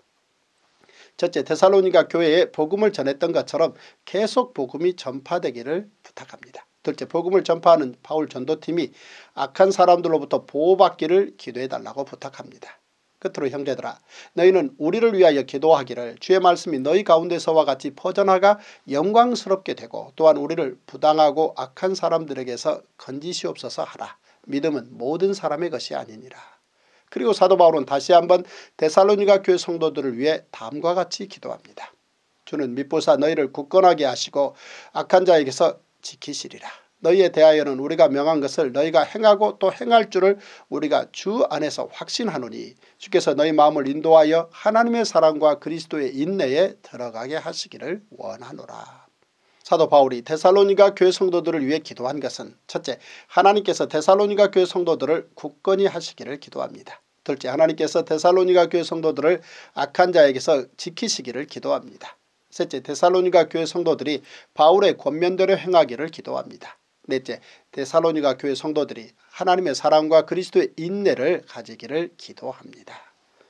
다섯 번째 포인트 사도 바울은 재림에 대해 끝내 오해하는 자들을 경고하며 실생활에서의 해결책을 제시해 줍니다. 이제 사도 바울은 데살로니가 교회 성도들이 실제 생활에서 그리스도인으로 어떻게 살아야 하는지를 가르칩니다. 형제들아 우리 주 예수 그리스도의 이름으로 너희를 명하노니 게으르게 행하고 우리에게서 받은 전통대로 행하지 아니하는 모든 형제에게서 떠나라. 사실 이 내용이 바울이 데살로니가 교회 성도들에게 두 번째 편지를 쓴 중요한 이유였습니다. 재림에 대해 바르게 이해하지 못하고 오해하여 일하지 않고 게으른 자들이 있다는 소식을 듣고 이를 바로잡는 일이 사도 바울에게는 매우 중요한 일이었기 때문입니다.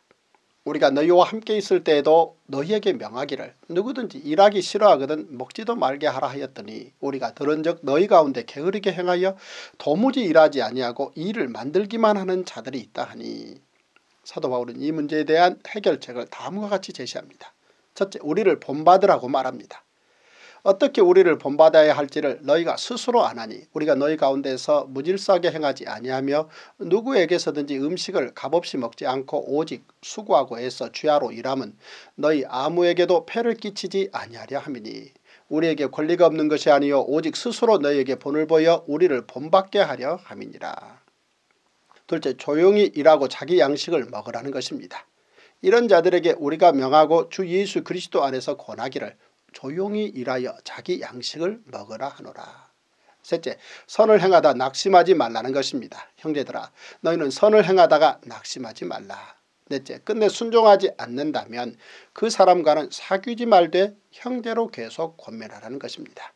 누가 이 편지에 한 우리 말을 순종하지 아니하거든 그 사람을 지목하여 사귀지 말고 그로 하여금 부끄럽게 하라. 그러나 원수와 같이 생각하지 말고 형제같이 권면하라.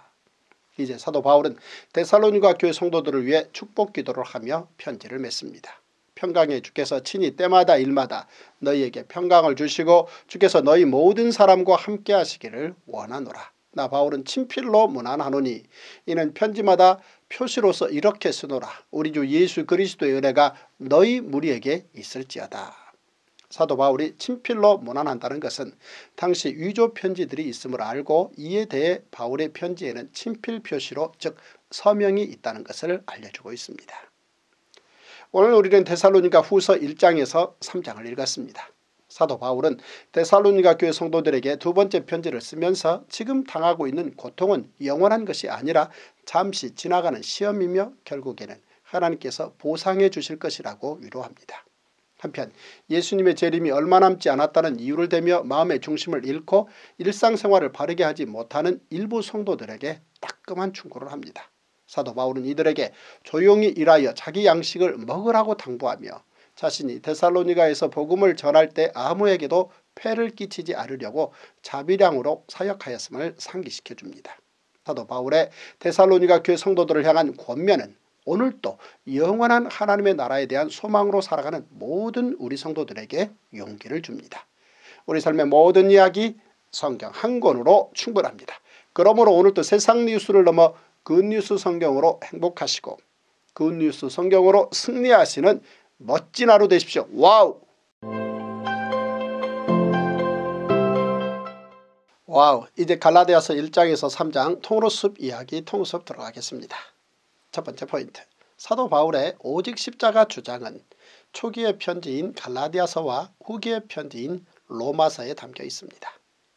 사도 바울은 2차 전도 여행 중 데살로니가 전서와 데살로니가 후서 그리고 갈라디아서를 편지로 써보냈습니다. 바울의 이 세 편의 편지는 바울의 편지들 가운데 가장 먼저 쓰인 편지들로 바울의 열정과 사랑 그리고 따뜻한 마음을 가장 잘 느끼게 해주는 사랑 가득한 편지들이라고 할 수 있습니다. 이제 사도 바울은 데살로니가 교회에 이어 갈라디아 교회에도 편지를 써보냅니다. 먼저 갈라디아 지방은 소아시아의 중앙에 위치한 로마 제국의 영토였습니다. 사도 바울이 1차 2차 전도 여행 때에 복음을 전하며 교회를 세웠던 소아시아 남쪽에 있는 갈라디아 지역으로 루스드라, 더베, 비시디아 안디옥 그리고 이고니온으로 추정합니다. 갈라디아서는 이미 언급한 대로 사도 바울이 사역 초기에 쓴 편지입니다. 갈라디아서는 자유를 위한 대선언이라고 말할 수 있는데 이후 로마서와 함께 종교개혁의 근거가 됩니다. 이 로마서는 갈라디아서를 기준으로 내용을 확장한 것입니다. 갈라디아서의 내용은 믿음 외에도 할례와 율법을 더해야만 구원받을 수 있다는 유대교 유대인들의 말에 현혹된 갈라디아의 여러 교회 성도들을 설득하기 위해 쓴 편지입니다. 그러므로 갈라디아서의 주요 내용을 다시 정리하면 다음과 같습니다. 첫째, 다른 복음은 없다는 것입니다. 다른 복음은 없나니 다만 어떤 사람들이 너희를 교란하여 그리스도의 복음을 변하게 하려 함이라. 둘째, 예루살렘 공회의 결론으로 오직 십자가 믿음으로만 의롭게 된다는 것입니다. 내가 그리스도와 함께 십자가에 못 박혔나니 그런즉 이제는 내가 사는 것이 아니요 오직 내 안에 그리스도께서 사시는 것이라. 이제 내가 육체 가운데 사는 것은 나를 사랑하사 나를 위하여 자기 자신을 버리신 하나님의 아들을 믿는 믿음 안에서 사는 것이라. 셋째 자유를 위한 대선언으로 모두 예수 안에서 하나라는 것입니다.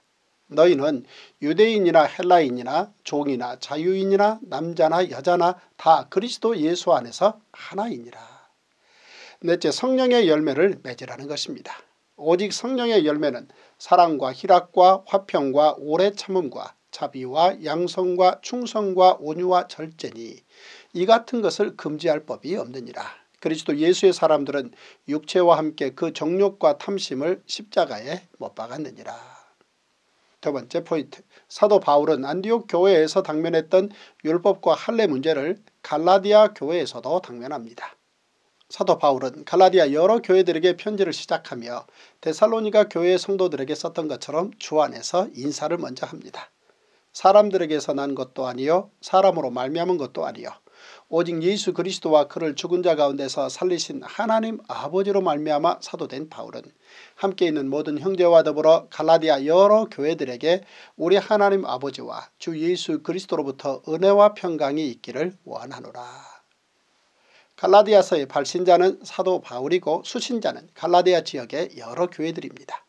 바울의 이 인사말은 데살로니가 교회에 보낼 때처럼 시작하지만 이번엔 바울이 자기 자신을 소개하면서 인사말을 합니다. 즉 사도 바울은 당시 자신의 사도직에 대한 논쟁이 있음을 알고 자기 자신이 어떻게 사도가 되었는지와 자신이 사도로서의 권위를 확실하게 가지고 있다는 사실을 밝히며 인사말을 한 것입니다. 바울은 자신의 사도직이 예수님과 하나님께로부터 온 것임을 밝히고자 함께하는 전도팀과 이를 논의하고 편지를 보낸 것 같습니다. 그리고 갈라디아에서의 앞으로의 쓸 내용의 핵심인 구원은 예수님의 대속을 통해서만 이루어짐을 미리 말한 것이었습니다. 그리스도께서 하나님 곧 우리 아버지의 뜻을 따라 이 악한 세대에서 우리를 건지시려고 우리 죄를 대속하기 위하여 자기 몸을 주셨으니 영광이 그에게 세세토록 있을지어다. 아멘. 그리고 바로 이어 사도 바울은 갈라디아서를 쓰게 된 이유를 밝힙니다. 그리스도의 은혜로 너희를 부르신 이를 이같이 속히 떠나 다른 복음을 따르는 것을 내가 이상하게 여기노라. 다른 복음은 없나니 다만 어떤 사람들이 너희를 교란하여 그리스도의 복음을 변하게 하려 함이라. 그러나 우리나 혹은 하늘로부터 온 천사라도 우리가 너희에게 전한 복음 외에 다른 복음을 전하면 저주를 받을지어다. 우리가 전에 말하였거니와 내가 지금 다시 말하노니 만일 누구든지 너희가 받은 것 외에 다른 복음을 전하면 저주를 받을지어다. 이는 갈라디아 교회에서도 이전 안디옥 교회에서처럼 십자가 믿음 외에 할례를 행하고 율법을 지켜야 구원을 받는다는 자들이 등장해 그렇게 가르친 것입니다. 따라서 바울은 당시 유대 율법주의자들의 논리에 빠져 다른 복음을 따르는 갈라디아 교회 성도들에 대해 잘못을 지적하며 다른 복음은 없음을 명확히 선언한 것입니다. 이어서 사도 바울은 다음과 같이 선언합니다. 이제 내가 사람들에게 좋게 하랴 하나님께 좋게 하랴 사람들에게 기쁨을 구하랴 내가 지금까지 사람들의 기쁨을 구하였다면 그리스도의 종이 아니니라. 사도 바울은 자신 전한 복음이 예수님께 받은 것이며 자신은 예수님께서 인정한 사도임을 말합니다. 이는 자신이 전하고 가르친 그리스도의 복음을 지키기 위해 이렇게 자신의 사도직을 변론한 것이었습니다. 사도직에 대한 바울의 변론은 다음에 네 가지입니다. 첫째, 자신이 전한 복음은 예수 그리스도의 계시로 받은 것이라고 말합니다. 형제들아 내가 너에게 알게 하노니 내가 전한 복음은 사람의 뜻을 따라 된 것이 아니니라. 이는 내가 사람에게서 받은 것도 아니요 배운 것도 아니요 오직 예수 그리스도의 계시로 말미암은 것이라. 둘째 자신의 사도직은 예수님께 직접 부름을 받았다고 말합니다.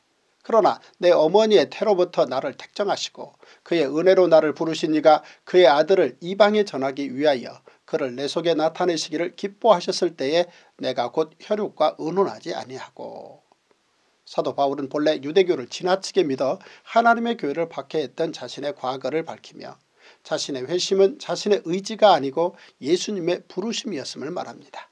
내가 이전에 유대교에 있을 때에 행한 일을 너희가 들었거니와 하나님의 교회를 심히 박해하여 멸하고 내가 내 동족 중 여러 영갑자보다 유대교를 지나치게 믿어 내 조상의 전통에 대하여 더욱 열심히 있었으나 그런데 예수님께서 다메섹에서 바울을 부르신 것입니다. 땅에 엎드려져 들음에 소리가 있어 이르시되 사울아 사울아 내가 어찌하여 나를 박해하느냐 하시거늘 대답하되 주여 누구시니까 이르시되 나는 내가 박해하는 예수라 너는 일어나 시내로 들어가라.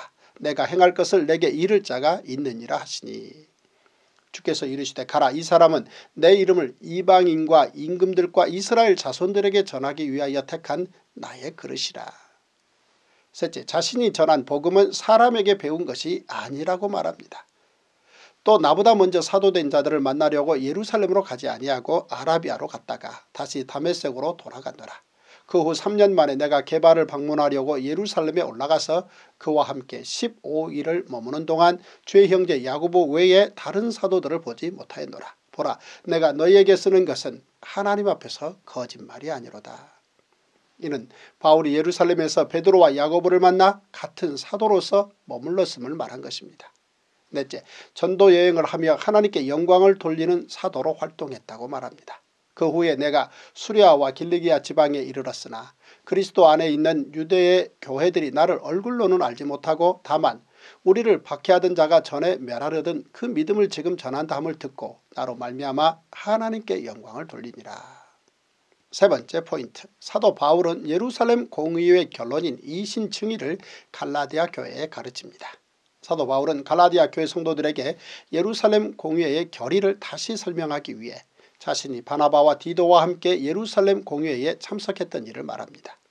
14년 후에 내가 바나바와 함께 디도를 데리고 다시 예루살렘에 올라갔나니 계시를 따라 올라가 내가 이방 가운데서 전하는 복음을 그들에게 제시하되 유력한 자들에게 사사로이 한 것은 내가 다름질하는 것이나 다름질한 것이 헛되지 않게 하려 함이라. 그리고 예루살렘 공회의 결정을 존중해 디도에게 할례를 행하지 않은 일을 말합니다. 그러나 나와 함께 있는 헬라인 디도까지도 억지로 할례를 받게 하지 아니하였으니 예루살렘 공회 때 사회를 맡은 야고보의 최종 선언이었습니다. 그러므로 내 의견에는 이방인 중에서 하나님께로 돌아오는 자들을 괴롭게 하지 말고 사도 바울은 예루살렘 공회의 이 결정을 따르기 위해 일부러 헬라인 디도에게 할례를 행하지 않으므로 복음이 할례와 무관하다는 사실을 보여주었다고 말합니다. 사실 바울은 이미 1차 전도 여행을 마치고 예루살렘 교회 지도자들에게 선교 활동을 보고하면서 이방인들이 할례를 받지 않고도 예수 그리스도의 복음을 받아들여 구원을 얻을 수 있다는 사실을 말했고 예루살렘 공회에서 이 합의를 이끌어냈습니다. 할례 없는 구원 이것은 이미 예루살렘 공회에서 결정한 내용입니다. 그런데 갈라디아 지방의 여러 교회들은 아직도 할례를 받아야 구원을 얻을 수 있다고 주장하는 이들이 있었던 것입니다. 계속해서 바울은 자신의 사도직은 베드로와 동일한 사도직이라고 말합니다. 유력하다는 이들 중에 본래 어떤 이들이든지 내게 상관이 없으며 하나님은 사람을 외모로 취하지 아니하시나니 저 유력한 이들은 내게 의무를 더하여 준 것이 없고 도리어 그들은 내가 무할례자에게 복음 전함을 맡은 것이 베드로가 할례자에게 맡음과 같은 것을 보았고 베드로에게 역사하사 그를 할례자의 사도로 삼으시니가 또한 내게 역사하사 나를 이방인의 사도로 삼으셨느니라. 그러므로 바울은 자신의 사도직이 사도들에게 배우거나 영향을 받은 것이 아니라 독립적으로 예수님께 직접 받은 것이라고 말합니다. 즉 베드로를 먼저 유대인을 위해 사도로 삼으신 예수님께서 자신을 이방인의 사도로 삼으셨다는 것입니다. 그리고 또한 바울은 자신의 사도직은 사도들이 인정한 것이라고 밝힙니다. 또 기둥같이 여기는 야고보와 게바와 요한도 내게 주신 은혜를 알므로 나와 바나바에게 친교의 악수를 하였으니 우리는 이방인에게로 그들은 할례자에게로 가게 하려 합니다. 다만 우리에게 가난한 자들을 기억하도록 부탁하였으니 이것은 나도 본래부터 힘써 행하여 왔노라. 그리고 사도 바울은 복음과 자신의 사도직 증명을 설명하면서 자신이 베드로를 책망한 적이 있다고 밝힙니다. 게바가 안디옥에 이르렀을 때에 책망받을 일이 있기로 내가 그를 대변하여 책망하였노라. 야고보에게서 온 어떤 이들이 이르기 전에 게바가 이방인과 함께 먹다가 그들이 오매 그가 할례자들을 두려워하여 떠나 물러가매 남은 유대인들도 그와 같이 외식함으로 바나바도 그들의 외식에 유혹되었느니라. 그러므로 나는 그들이 복음의 진리를 따라 바르게 행하지 아니함을 보고 모든 자 앞에서 개바에게 이르되 내가 유대인으로서 이방인을 따르고 유대인답게 살지 아니하면서 어찌하여 억지로 이방인을 유대인답게 살게 하려느냐 하였노라. 안디옥에서 이방인과 함께 있던 모습을 은연중에 감추고 싶어 했던 사도 베드로를 같은 사도로서 책망했던 일을 말하고 있습니다. 복음의 일꾼된 사도이면 당당하게 자신의 주장과 걸맞게 행동하라는 것입니다. 이 사실을 기초로 복음이 육체에 있지 않다는 사실을 확인하며 바울은 갈라디아 교회의 성도들을 설득합니다. 즉 사도 바울은 믿음으로만 구원을 얻는다는 복음의 진리는 그 누구도 거역할 수 없다는 것을 밝힌 것입니다. 당시에 사도 바울은 이방인들을 위한 사도로 칭함을 받지만 예수님의 공생의 때에는 함께하지 못했고 그의 가르침을 직접적으로 들은 적도 없는 사도였습니다. 사실 사도 바울은 오히려 그리스도인들을 핍박했던 사람입니다. 그러기에 바울은 사도로 칭함을 받기에 열악한 조건이 있었습니다. 하지만 바울은 개의치 않았습니다. 다메섹 도상에서 직접 만났던 주님을 자신의 구주로 받아들이고 온 열정과 헌신을 다해 주님의 복음을 전하는 것이 그에게 주어진 임무였기 때문입니다. 그래서 예수님의 수제자인 베드로일지라도 복음 안에서 책망할 수 있었던 것입니다. 그가 비록 주님과 동고동락하며 주님을 잘 알았던 사람이라 할지라도 진리에 어긋난 행동을 하는 것은 용납할 수 없기 때문입니다. 이것이 오직 믿음으로 의롭게 되는 이신칭의이고 이신득의입니다. 사람이 의롭게 되는 것은 율법의 행위로 말미암음이 아니요 오직 예수 그리스도를 믿음으로 말미암는 줄 알므로 우리도 그리스도 예수를 믿나니 이는 우리가 율법의 행위로서가 아니고 그리스도를 믿음으로써 의롭다함을 얻으려 함이라. 율법의 행위로서는 의롭다함을 얻을 육체가 없느니라. 사도 바울은 만일 율법으로 의롭게 되는 것이라면 예수님의 십자가 죽음은 헛된 것이라고 가르칩니다. 내가 하나님의 은혜를 패하지 아니하노니 만일 의롭게 되는 것이 율법으로 말미암으면 그리스도께서 헛되이 죽으셨느니라. 그러면서 사도 바울이 놀라운 믿음의 고백을 합니다. 내가 그리스도와 함께 십자가에 못 박혔나니 그런즉 이제는 내가 사는 것이 아니요 오직 내 안에 그리스도께서 사시는 것이라. 이제 내가 육체 가운데 사는 것은 나를 사랑하사 나를 위하여 자기 자신을 버리신 하나님의 아들을 믿는 믿음 안에서 사는 것이라. 이는 마치 예수님의 포도나무 가르침을 연상케 합니다. 내 안에 거하라 나도 너희 안에 거하리라. 가지가 포도나무에 붙어있지 아니하면 스스로 열매를 맺을 수 없음같이 너희도 내 안에 있지 아니하면 그러하리라. 나는 포도나무요 너희는 가지라. 그가 내 안에 내가 그 안에 거하면 사람이 열매를 많이 맺나니 나를 떠나서는 너희가 아무것도 할 수 없습니다. 사람이 내 안에 거하지 아니하면 가지처럼 밖에 버려져 마르나니 사람들이 그것을 모아다가 불에 던져 사르느니라. 네 번째 포인트 사도 바울은 아브라함을 예로 들어 믿음으로 구원받음을 다시 한번 가르칩니다.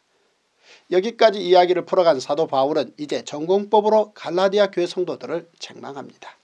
어리석도다 갈라디아 사람들아 예수 그리스도께서 십자가에 못 박히신 것이 너희 눈앞에 밝히 보이거를 누가 너희를 꾀다냐 내가 너희에게서 다만 이것을 알려 하노니 너희가 성령을 받은 것이 율법의 행위로냐 혹은 듣고 믿음으로냐? 너희가 이같이 어리석으냐? 성령으로 시작하였다가 이제는 육체로 마치겠느냐? 너희가 이같이 많은 괴로움을 헛되이 받았느냐? 과연 헛되냐? 사도 바울은 갈라디아 교 성도들이 그들이 만약 다시 율법을 쫓아간다면 그동안 많은 괴로움을 헛되게 만드는 것이라고 말합니다. 그리고 율법의 행위가 중요한지 믿음이 중요한지 답을 찾고 결단해야 함을 가르칩니다. 나는 이제 너희를 위하여 받는 괴로움을 기뻐하고 그리스도의 남은 고난을 그의 몸된 교회를 위하여 내 육체에 채우노라.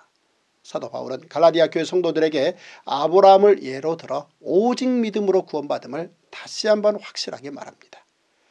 아브라함이 여호와를 믿으니 여호와께서 이를 그의 의로 여기시고 아브라함이 하나님을 믿음에 그것을 그에게 의로 정하셨다 함과 같으니라. 그런즉 믿음으로 말미암은 자들은 아브라함의 자손인 줄 알지어다. 또 하나님이 이방을 믿음으로 말미암아 의로 정하실 것을 성경이 미리 알고 먼저 아브라함에게 복음을 전하되 모든 이방인이 너로 말미암아 복을 받으리라 하였느니라. 그러므로 믿음으로 말미암는 자는 믿음이 있는 아브라함과 함께 복을 받느니라.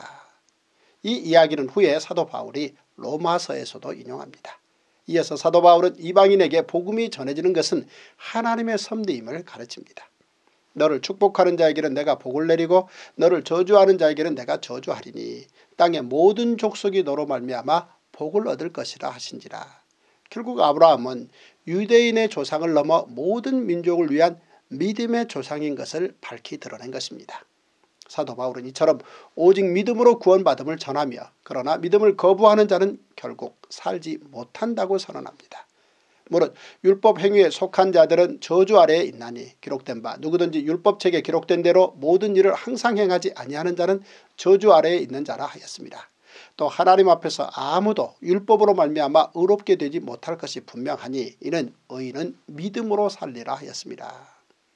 이 말씀의 근거는 신명기와 레위기 그리고 하박국의 말씀으로 확인할 수 있습니다. 먼저 신명기의 말씀입니다. 이 율법의 말씀을 실행하지 아니하는 자는 저주를 받을 것이라 할 것이요 모든 백성은 아멘 할지니라. 이어서 레위기의 말씀입니다. 너희는 내 규례와 법도를 지키라. 사람이 이를 행하면 그로 말미암아 살리라. 나는 여호와이니라. 계속해서 하박국의 말씀입니다. 보라 그의 마음은 교만하며 그 속에서 정직하지 못하나 의인은 그의 믿음으로 말미암아 살리라. 사도 바울은 끝내 완벽히 지킬 수 없는 율법의 저주에서 벗어나는 길은 오직 믿음이라고 다시 강조합니다. 그리스도께서 우리를 위하여 저주를 받은 바 되사 율법의 저주에서 우리를 속량하셨으니 기록된 바 나무에 달린 자마다 저주 아래에 있는 자라 하였습니다. 이는 그리스도 예수 안에서 아브라함의 복이 이방인에게 미치게 하고 또 우리로 하여금 믿음으로 말미암아 성령의 약속을 받게 하려 함이라. 이는 사도 바울이 신명기의 말씀을 인용한 것입니다. 그 시체를 나무 위에 밤새도록 두지 말고 그날에 장사하여 내 하나님 여호와께서 내게 기업으로 주시는 땅을 더럽히지 말라. 나무에 달린 자는 하나님께 저주를 받았음이니라. 이는 우리 예수님께서 우리를 죄에서 속량하시기 위해 그 저주를 감당하셨다는 것입니다. 이로써 아브라함 때부터 계획하신 하나님의 꿈이 이루어진 것이었습니다. 이 하나님의 꿈은 첫째 모든 민족이 복을 받게 되는 것이고 둘째 모든 민족이 믿음으로 성령을 받는 것입니다. 다섯 번째 포인트 사도 바울은 율법을 예수님께로 인도하는 초등교사라고 가르칩니다. 사도 바울은 갈라디아 교회 성도들에게 언약이 율법보다 먼저라고 말합니다. 이 약속들은 아브라함과 그 자손에게 말씀하신 것인데 여럿을 가리켜 그 자손들이라 하지 아니하시고 오직 한 사람을 가리켜 내 자손이라 하셨으니 곧 그리스도라. 내가 이것을 말하노니 하나님께서 미리 정하신 언약을 430년 후에 생긴 율법이 폐기하지 못하고 그 약속을 헛되게 하지 못하리라. 만일 그 유업이 율법에서 난 것이면 약속에서 난 것이 아니리라. 그러나 하나님이 약속으로 말미암아 아브라함에게 주신 것이라. 이것이 바로 하나님의 은혜 언약입니다.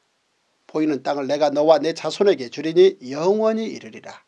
내가 너와 내 후손에게 내가 거류하는 이 땅 곧 가나안 온 땅을 주어 영원한 기업이 되게 하고 나는 그들의 하나님이 되리라. 하나님께서는 이 은혜 언약의 기반 위에 율법을 주신 것입니다. 그런데 육체의 할례와 율법을 행해야 구원을 받을 수 있다는 가르침에 현혹된 갈라디아 사람들로 인해 바울은 기가 막혔습니다. 자신이 전한 예수 그리스도의 복음으로 말미암아 성령을 받았음에도 불구하고 다른 복음에 현혹되어 있으니 바울의 마음은 답답하기가 이루 말할 수 없었던 것입니다.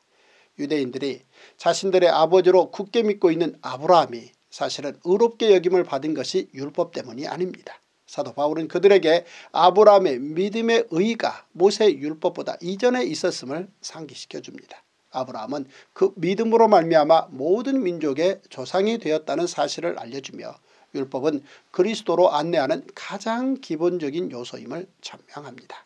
그러므로 율법의 역할은 다음과 같습니다. 그런즉 율법은 무엇이냐 범법함으로 더하여진 것이라. 천사들을 통하여 한 중보자의 손으로 베푸신 것인데 약속하신 자손이 오시기까지 있을 것이라. 그 중보자는 한편만 위한 자가 아니나 하나님은 한 분이시라. 그러면 율법이 하나님의 약속들과 반대되는 것이냐 결코 그럴 수 없느니라. 만일 능히 살게 하는 율법을 주셨더라면 의가 반드시 율법으로 말미암았으리라. 그러나 성경이 모든 것을 죄 아래 가두었으니 이는 예수 그리스도를 믿음으로 말미암는 약속을 믿는 자들에게 주려 함이라. 즉 율법은 예수님께서 오시기 전까지만 필요했다는 것입니다. 내가 율법이나 선지자를 폐하러 온 줄로 생각하지 말라. 폐하러 온 것이 아니요 완전하게 하려 함이라. 모든 인생들은 죄 아래에 있으므로 예수님을 믿는 믿음으로 구원에 이르는 것입니다. 주의 종에게 심판을 행하지 마소서 주의 눈앞에는 의로운 인생이 하나도 없나이다. 그러므로 율법의 행위로 그의 앞에 의롭다 하심을 얻을 육체가 없나니 율법으로는 죄를 깨달음이니라. 사도 바울은 그러므로 율법은 인생들을 예수님께로 인도하는 초등교사라고 선언합니다. 믿음이 오기 전에 우리는 율법 아래 메인바되고 계시될 믿음의 때까지 갇혔느니라. 이같이 율법이 우리를 그리스도께로 인도하는 초등교사가 되어 우리로 하여금 믿음으로 말미암아 의롭다함을 얻게 하려 함이라. 이를 기반으로 한 바울의 선언입니다. 너희가 다 믿음으로 말미암아 그리스도 예수 안에서 하나님의 아들이 되었으니 누구든지 그리스도와 합하기 위하여 세례를 받은 자는 그리스도로 옷 입었느니라. 너희는 유대인이나 헬라인이나 종이나 자유자나 남자나 여자나 다 그리스도 예수 안에서 하나이니라. 너희가 그리스도의 것이면 곧 아브라함의 자손이요 약속대로 유업을 이을 자니라. 이는 세상 모든 사람들이 오직 예수 안에서 믿음으로 말미암아 하나님의 아들이 되는 것이고 오직 예수 안에서 하나라는 대선언이었습니다. 유대인이나 헬라인이나 종이나 자유인이나 남자나 여자나 그리스도 예수 안에서 하나입니다. 이 얼마나 놀라운 선언입니까? 하나님께서는 모든 사람을 동일하게 당신의 형상을 따라 만드셨고 하나님께서 이제 예수님의 십자가 안에서 사람들 사이에 막힌 모든 벽을 허무셨습니다. 그러므로 더 이상 그 어떠한 차별도 있을 수 없는 것입니다. 오늘 우리는 갈라디아서 1장에서 3장을 읽었습니다. 하나님께서는 인생들에게 이미 율법을 주셨습니다. 그것을 지켜 행하면 인간이 가장 인간다울 수 있는 아름다운 법이었습니다. 하지만 율법이 모든 인간의 의를 만들어낼 수는 없습니다. 율법의 모든 조항들을 다 체득한다 하여도 그것이 인간의 죄 문제를 완전히 해결할 수 없습니다. 율법은 우리를 그리스도께로 인도하는 초등교사와 같습니다. 즉 그리스도에게로 인도해주는 안내자와 같다는 것입니다. 하지만 예수 그리스도의 십자가 구속의 은혜로 말미암아 오직 믿음으로 하나님 앞에 나아갈 수 있는 길이 모든 사람들에게 열린 이후로 우리는 초등교사 아래 있지 않아도 됩니다. 그러므로 사도 바울은 구원으로 이르는 데에는 믿음밖에 없음을 갈라디아 교회 성도들에게 강조하고 있는 것입니다. 인간이 할 수 있는 옳은 일은 한계가 있기 마련입니다. 율법을 통해 구원에 이를 수 있다고 생각하는 자들은 자신의 한계에 곧 부딪히게 될 것입니다. 율법은 하나님의 백성을 그리스도에게로 인도하며 보호해주는 초등교사와 같은 안내자인 것입니다. 오직 의의 길 생명의 길로 갈 수 있는 통로는 예수 십자가를 믿는 믿음뿐입니다. 우리 삶의 모든 이야기 성경 한 권으로 충분합니다. 그러므로 오늘도 세상 뉴스를 넘어 good news 성경으로 행복하시고 good news 성경으로 승리하시는 멋진 하루 되십시오. Wow Wow 이제 갈라디아서 4장에서 6장 통으로 숲 이야기 통숲 들어가겠습니다. 첫 번째 포인트 사도 바울은 후견인과 청지기 비유로 율법의 역할을 가르칩니다. 사도 바울은 갈라디아 교회 성도들에게 율법은 하나님 아버지께서 정한 때까지 후견인과 청지기 역할을 한다고 가르칩니다. 내가 또 말하노니 유업을 이을 자가 모든 것의 주인이나 어렸을 동안에는 종과 다름이 없어서 그 아버지가 정한 때까지 후견인과 청지기 아래에 있나니 또한 우리를 율법 아래에서 나게 하신 것은 율법 아래에 있을 우리를 속량하시고 우리를 하나님의 아들의 명분을 얻게 하려 하심이라고 설명합니다. 이와 같이 우리도 어렸을 때에 이 세상의 초등학문 아래에 있어서 종로로 타였더니 때가 참에 하나님이 그 아들을 보내사 여자에게서 나게 하시고 율법 아래에 나게 하신 것은 율법 아래에 있는 자들을 속량하시고 우리로 아들의 명분을 얻게 하려 하심이라. 이처럼 하나님께서 율법과 선지자를 완성케 하시기 위해 독생자 예수를 이 땅에 보내신 이유는 첫째, 율법 아래에 있는 백성들을 속량하시기 위함이고 둘째, 백성들을 아들로 삼아 아들의 명분을 주시기 위함이셨습니다. 결국 예수 그리스도께서 이 땅에 오심으로 우리 인생들이 하나님을 아빠 아버지라 부르는 자녀가 되는 특권을 누리게 된 것입니다.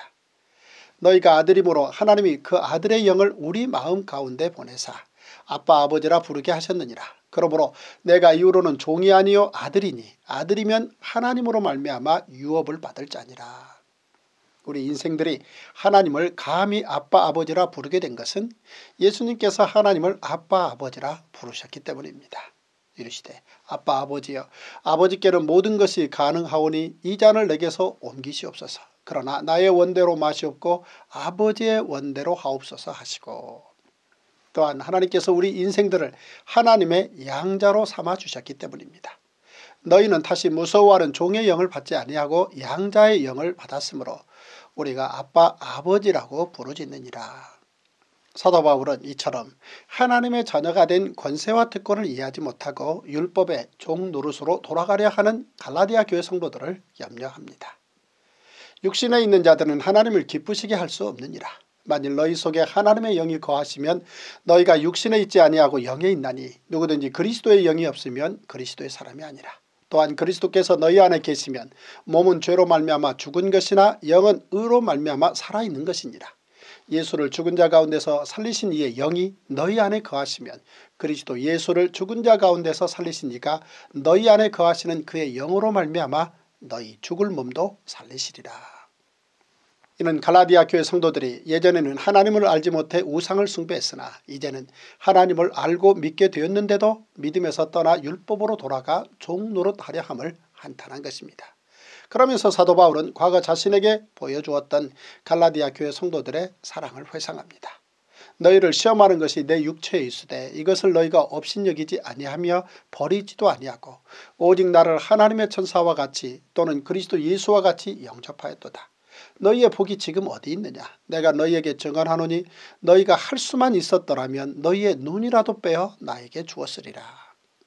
갈라디아 사람들에게 복음을 전할 당시에 바울의 몸은 몹시 허약해져 있었습니다. 그러자 갈라디아 사람들은 그러한 바울을 잘 맞이하여 정성껏 간호하였습니다. 그래서 바울은 회상하기를 오직 나를 하나님의 천사와 같이 또는 그리스도 예수와 같이 영접하였다고 고백합니다. 하지만 그 이후 갈라디아 교회의 성도들은 율법을 지켜야만 구원을 얻는다는 생각에 사로잡혀 사도 바울에 대한 사모함마저 사라졌던 것입니다. 사도 바울이 전했던 말에 조금씩 의구심을 가지게 되었고 바울을 멀리하려는 경향까지 생겼던 것입니다. 사도 바울은 그러한 그들에게 율법을 주장하는 사람들의 의도는 갈라디아 교회 성도들을 이간질시키려는 것이라고 말합니다. 그리스도의 복음은 공동체를 분열시키는 것이 아니라 서로 하나가 되게 합니다. 하지만 율법으로 상대방을 정죄한다면 서로 간에 장벽이 생길 수밖에 없습니다. 서로를 대적하는 장벽을 허물고 그리스도의 복음으로 하나가 되는 것이 우리 구주 예수 그리스도의 뜻입니다. 사도 바울은 갈라디아 교회 성도들에게 다시 복음으로 돌아오기를 촉구하며 자신이 더 열심히 그들을 돌보겠다고 말합니다. 나의 자녀들아 너희 속에 그리스도의 형상을 이루기까지 다시 너희를 위하여 해산하는 수고를 하노니 사도 바울은 자신이 복음을 전했던 성도들에게 아버지의 마음을 품고 다시 양육하는 모습을 보여줍니다. 그리스도 안에서 일만 스승이 있으되 아버지는 많지 아니하니 그리스도 예수 안에서 내가 복음으로서 너희를 낳았습니다. 두 번째 포인트 사도 바울은 율법과 복음의 차이를 아브라함 가정의 이야기로 비교하여 가르칩니다. 사도 바울은 갈라디아 교회 성도들에게 율법과 복음의 차이를 구약 성경의 내용으로 비교하며 다시 가르칩니다. 기록된 바 아브라함에게 두 아들이 있으니 하나는 여종에게서 하나는 자유 있는 여자에게서 낳다 하였으며 여종에게서는 육체를 따라 낳고 자유 있는 여자에게서는 약속으로 말미암았느니라. 이 내용을 다시 정리하자면 첫째 사도 바울은 하갈에게서 난 이스마엘을 율법으로 비유합니다. 이 하갈은 아라비아에 있는 신의 산으로서 지금 있는 예루살렘과 같은 것이니 그가 그 자녀들과 더불어 종로로 타고 이는 바울이 창세기 내용을 인용한 것입니다. 하갈이 아브라함의 아들을 낳음에 아브라함이 하갈이 낳은 그 아들을 이름하여 이스마엘이라 하였더라. 둘째 사도 바울은 사라에게서 난 이삭을 복음으로 비유합니다. 오직 위에 있는 예루살렘은 자유자니 곧 우리 어머니라. 기록된 바 잉태하지 못한 자여 즐거워하라. 산고를 모르는 자여 소리질러 외치라. 이는 홀로 사는 자의 자녀가 남편이 있는 자의 자녀보다 많음이라 하였으니 형제들아 너희는 이삭과 같이 약속의 자녀라. 이 또한 바울이 창세기 내용을 인용한 것입니다. 여호와의 말씀이 그에게 임하여 이르시되 그 사람이 내 상속자가 아니라 내 몸에서 날짜가 내 상속자가 되리라 하시고 사라가 임신하고 하나님이 말씀하신 시기가 되어 노년의 아브라함에게 아들을 낳으니 또한 사도 바울은 창세기 내용뿐만 아니라 이사야서를 인용했습니다. 잉태하지 못하며 출산하지 못한 너는 노래할지어다. 상고를 겪지 못한 너는 외쳐 노래할지어다. 이는 홀로 된 여인의 자식이 남편 있는 자의 자식보다 많음이라 여호와께서 말씀하셨느니라. 이는 잉태하지 못한 자, 상고를 모르는 자, 홀로 사는 자를 복음으로 사는 자로 비유하며 남편이 있는 자는 율법으로 사는 자로 비유했습니다. 복음으로 사는 자가 복의 자녀임을 가르친 것입니다. 셋째 사도 바울은 지금은 율법주의자들이 복음을 믿는 자들을 핍박하나 결국 구원은 복음을 믿는 자들이 얻게 된다고 가르칩니다. 그러나 그때의 육체를 따라 난 자가 성령을 따라 난 자를 박해한 것 같이 이제도 그러하도다. 그러나 성경이 무엇을 말하느냐 여종과 그 아들을 내쫓으라 여종의 아들이 자유 있는 여자의 아들과 더불어 유업을 얻지 못하리라 하였느니라. 그런즉 형제들아 우리는 여종의 자녀가 아니요 자유 있는 여자의 자녀니라. 이 또한 바울이 창세기 내용을 인용한 것입니다. 그가 아브라함에게 이르되 이 여종과 그 아들을 내쫓으라. 이 여종의 아들은 내 아들 이삭과 함께 기업을 얻지 못하리라 하므로 아브라함이 그의 아들로 말미암아 그 일이 매우 근심이 되었더니 하나님이 아브라함에게 이르시되 내 아이나 내 여종으로 말미암아 근심하지 말고 사라가 내게 이런 말을 다 들으라. 이삭에게서 나는 자라야 내 씨라 부를 것임이니라. 율법을 따라가는 사람은 하갈의 아들이요 믿음의 법을 따르는 사람은 사라의 아들입니다. 그러므로 구약 성경에서 오직 사라의 아들 곧 이삭만이 아브라함의 유업을 이을 아들이라고 이야기했던 것처럼 오직 믿음을 따르는 사람만이 하나님께서 주신 약속의 상속자가 될 수 있다는 것입니다. 사도 바울은 이렇게 사라와 하갈의 비유를 통해서 이미 언약에 따른 자유가 유대인들에게 주어졌음을 설명합니다. 따라서 유대인들이 율법 이전에 이미 선택받은 아브라함의 혈통을 통해서 자유를 얻은 민족이라고 선포합니다. 사도 바울은 갈라디아 교회 성도들에게 죄의 종에서 벗어나 자유를 누리라고 간절히 이렇게 설득합니다. 이는 갈라디아 교회 성도들이 그리스도의 형상을 이룰 때까지 해산하는 수고도 마다하지 않겠다는 바울의 열심입니다.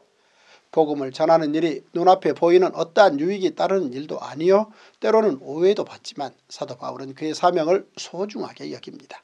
곧 예수 그리스도를 바르게 전하여 갈라디아 교회가 온전히 그리스도의 형상을 닮을 수 있도록 도와주는 사명입니다. 세 번째 포인트 사도 바울은 갈라디아서에서 그리스도인의 자유를 선포합니다. 사도 바울은 갈라디아 교회 성도들에게 믿음으로 의롭게 사는 사람들이 행해야 할 실천을 말합니다. 그 실천은 바로 자유하라. 다시는 종의 멍에를 매지 말라입니다.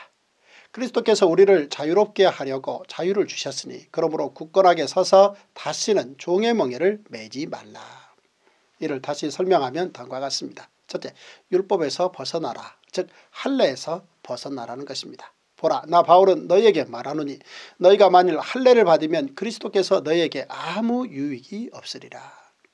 우리가 성령으로 믿음을 따라 의의 소망을 기다리노니 그리스도 예수 안에서는 할례나 무할례나 효력이 없으되 사랑으로서 역사하는 믿음뿐이니라. 둘째 율법주의자들을 향한 심판을 선언합니다. 나는 너희가 아무 다른 마음을 품지 아니할 줄을 주 안에서 확신하노라. 그러나 너희를 요동하게 하는 자는 누구든지 심판을 받으리라. 셋째 율법주의자들을 내쫓으라고 말합니다. 형제들아 내가 지금까지 할례를 전한다면 어찌하여 지금까지 박해를 받으리요. 그리하였으면 십자가의 걸림돌이 제거되었으리니 너희를 어지럽게 하는 자들은 스스로 베어버리기를 원하노라. 이는 적은 누룩이 온 덩이에 퍼지는 것과 같이 교회를 위해 없앨 것은 반드시 없애라는 것입니다. 이는 사도 바울이 유대인으로서 할례를 중시하는 사람이라고 헛소문을 퍼뜨리는 사람들의 주장을 반박한 것입니다. 또한 사도 바울은 몇몇이 교회를 흔드는 것을 용납하지 말고 버리라고 단호히 말합니다. 초기 교회에서 율법과 믿음의 관계에 대해 가장 쟁점이 되었던 문제는 바로 할례였습니다. 사도 바울이 이방인들에게 예수님을 전할 때 유대인들 특히 바리새인으로서 예수님을 믿게 된 사람들은 이방인들이 예수를 믿기 위해서는 먼저 할례를 받아야 한다고 주장했기 때문입니다. 그러나 그들의 주장을 받아들인다면 이방인의 전도에 매우 큰 걸림돌이 될 수밖에 없는 상황이었습니다. 이제 사도 바울은 그리스도인의 자유를 선포합니다. 예수를 믿는 그리스도인은 모든 율법으로부터 자유하였다고 선언한 것입니다. 그러나 바울은 자유를 누리되 사랑으로 서로 종노릇하라며 예수님의 가르침을 전합니다. 형제들아 너희가 자유를 위하여 부르심을 입었으나 그러나 그 자유로 육체의 기회를 삼지 말고 오직 사랑으로 서로 종노릇하라. 온 율법은 내 이웃 사랑하기를 내 자신같이 하라 하신 한 말씀에서 이루어졌나니 만일 서로 물고 먹으면 피차 멸망할까 조심하라. 또 주께서 우리가 너희를 사랑함과 같이 너희도 피차간과 모든 사람에 대한 사랑이 더욱 많아 넘치게 하사. 이는 바울이 레위기를 인용한 것입니다. 원수를 갚지 말며 동포를 원망하지 말며 내 이웃 사랑하기를 내 자신과 같이 사랑하라. 나는 여호와이니라. 이는 곧 예수님께서 강조하신 말씀이었습니다. 예수께서 이르시되 내 마음을 다하고 목숨을 다하고 뜻을 다하여 주 너의 하나님을 사랑하라 하셨으니 이것이 크고 첫째 되는 계명이요 둘째도 그와 같으니 내 이웃을 내 자신같이 사랑하라 하셨으니 이 두 계명이 온 율법과 선지자의 강령이니라. 또 내 이웃을 사랑하고 내 원수를 미워하라 하였다는 것을 너희가 들었으나 나는 너희에게 이르노니 너희 원수를 사랑하며 너희를 박해하는 자를 위하여 기도하라. 예수님께서 우리에게 놀라운 자유를 주셨습니다. 죄로부터의 자유, 사망으로부터의 자유, 율법으로부터의 자유입니다. 그리스도인은 이러한 자유를 받은 사람입니다. 그런데 예수님께서는 이 자유를 자신의 욕심을 위해 사용하지 말고 사랑으로 서로 종노릇하라고 말씀하셨습니다. 자유와 종노릇은 서로 어울리지 않는 것 같습니다. 그러나 나의 자유를 이용해 다른 사람을 섬기는 일을 선택한다면 그것은 참으로 복된 인생입니다. 자유를 종노릇하는 데 사용하는 사람 하나님께서는 그에게 더 많은 자유를 약속하십니다. 네 번째 포인트 사도 바울은 성령의 아홉 가지 열매가 있다고 가르칩니다. 사도 바울은 갈라디아 교회 성도들에게 성령을 따라 행하고 성령의 열매를 맺으라고 가르칩니다. 내가 이르노니 너희는 성령을 따라 행하라. 그래야면 육체의 욕심을 이루지 아니하리라. 육체의 소욕은 성령을 거스리고 성령은 육체를 거스르나니 이 둘이 서로 대적하므로 너희가 원하는 것을 하지 못하게 하려 함이니라. 너희가 만일 성령의 인도하시는 바가 되면 율법 아래 있지 아니하리라. 율법을 쫓는 삶은 결국 육체의 욕심에 따라 살게 됩니다. 그러므로 형제들아 우리가 빚진 자로 돼 육신에게 져서 육신대로 살 것이 아니니라. 너희가 육신대로 살면 반드시 죽을 것이로되 영으로서 몸의 행실을 죽이면 살리니 무릇 하나님의 영으로 인도함을 받는 사람은 곧 하나님의 아들이라. 그리고 사도 바울은 율법 아래에 있는 육체의 일들에 대해 열거하며 그러한 일을 하는 자들은 하나님 나라를 유업으로 받지 못한다고 경고합니다. 육체의 일은 분명하니 곧 음행과 더러운 것과 호색과 우상숭배와 주술과 원수 맺는 것과 분쟁과 시기와 분냄과 당 짓는 것과 분열함과 이단과 투기와 술취함과 방탕함과 또 그와 같은 것들이라. 전에 너희에게 경계한 것 같이 경계하노니 이런 일을 하는 자들은 하나님의 나라를 유업으로 받지 못할 것이요. 그리고 사도 바울은 복음 아래에 있는 성령의 아홉 가지 열매를 말합니다. 오직 성령의 열매는 사랑과 희락과 화평과 오래 참음과 자비와 양성과 충성과 온유와 절제니 이 같은 것을 금지할 법이 없느니라. 그러므로 사도 바울은 갈라디아 교회 성도들에게 성령을 따라 행하라고 조언합니다. 그리스도 예수의 사람들은 육체와 함께 그 정욕과 탐심을 십자가에 못 박았느니라. 만일 우리가 성령으로 살면 또한 성령으로 행할지니 헛된 영광을 구하여 서로 노엽게 하거나 서로 투기하지 말지니라. 다섯 번째 포인트 사도 바울은 선을 행할 때 열매가 없다고 낙심하지 말라고 가르칩니다. 사도 바울은 갈라디아 교회 성도들에게 짐을 서로 지라고 가르칩니다. 형제들아 사람이 만일 무슨 범죄한 일이 드러나거든 신령한 너희는 온유한 심령으로 그러한 자를 바로잡고 너 자신을 살펴보아 너도 시험을 받을까 두려워하라. 너희가 짐을 서로 지라. 그리하여 그리스도의 법을 성취하라. 만일 누가 아무것도 되지 못하고 된 줄로 생각하면 스스로 속입니다. 각각 자기의 일을 살피라. 그리하면 자랑할 것이 자기에게는 있어도 남에게는 있지 아니하리니 각각 자기의 짐을 질 것이라. 이는 공동체 안에 범죄한 자가 있을 때에는 온유한 심령으로 바로잡고 자신을 돌아보라는 것입니다. 그리고 공동체의 짐, 곧 범죄함으로 인해 생기는 고통과 아픔은 서로 같이 나누어지라는 것입니다. 또한 각자에게 맡겨진 짐, 곧 책임져야 할 일은 성실히 하라는 것입니다.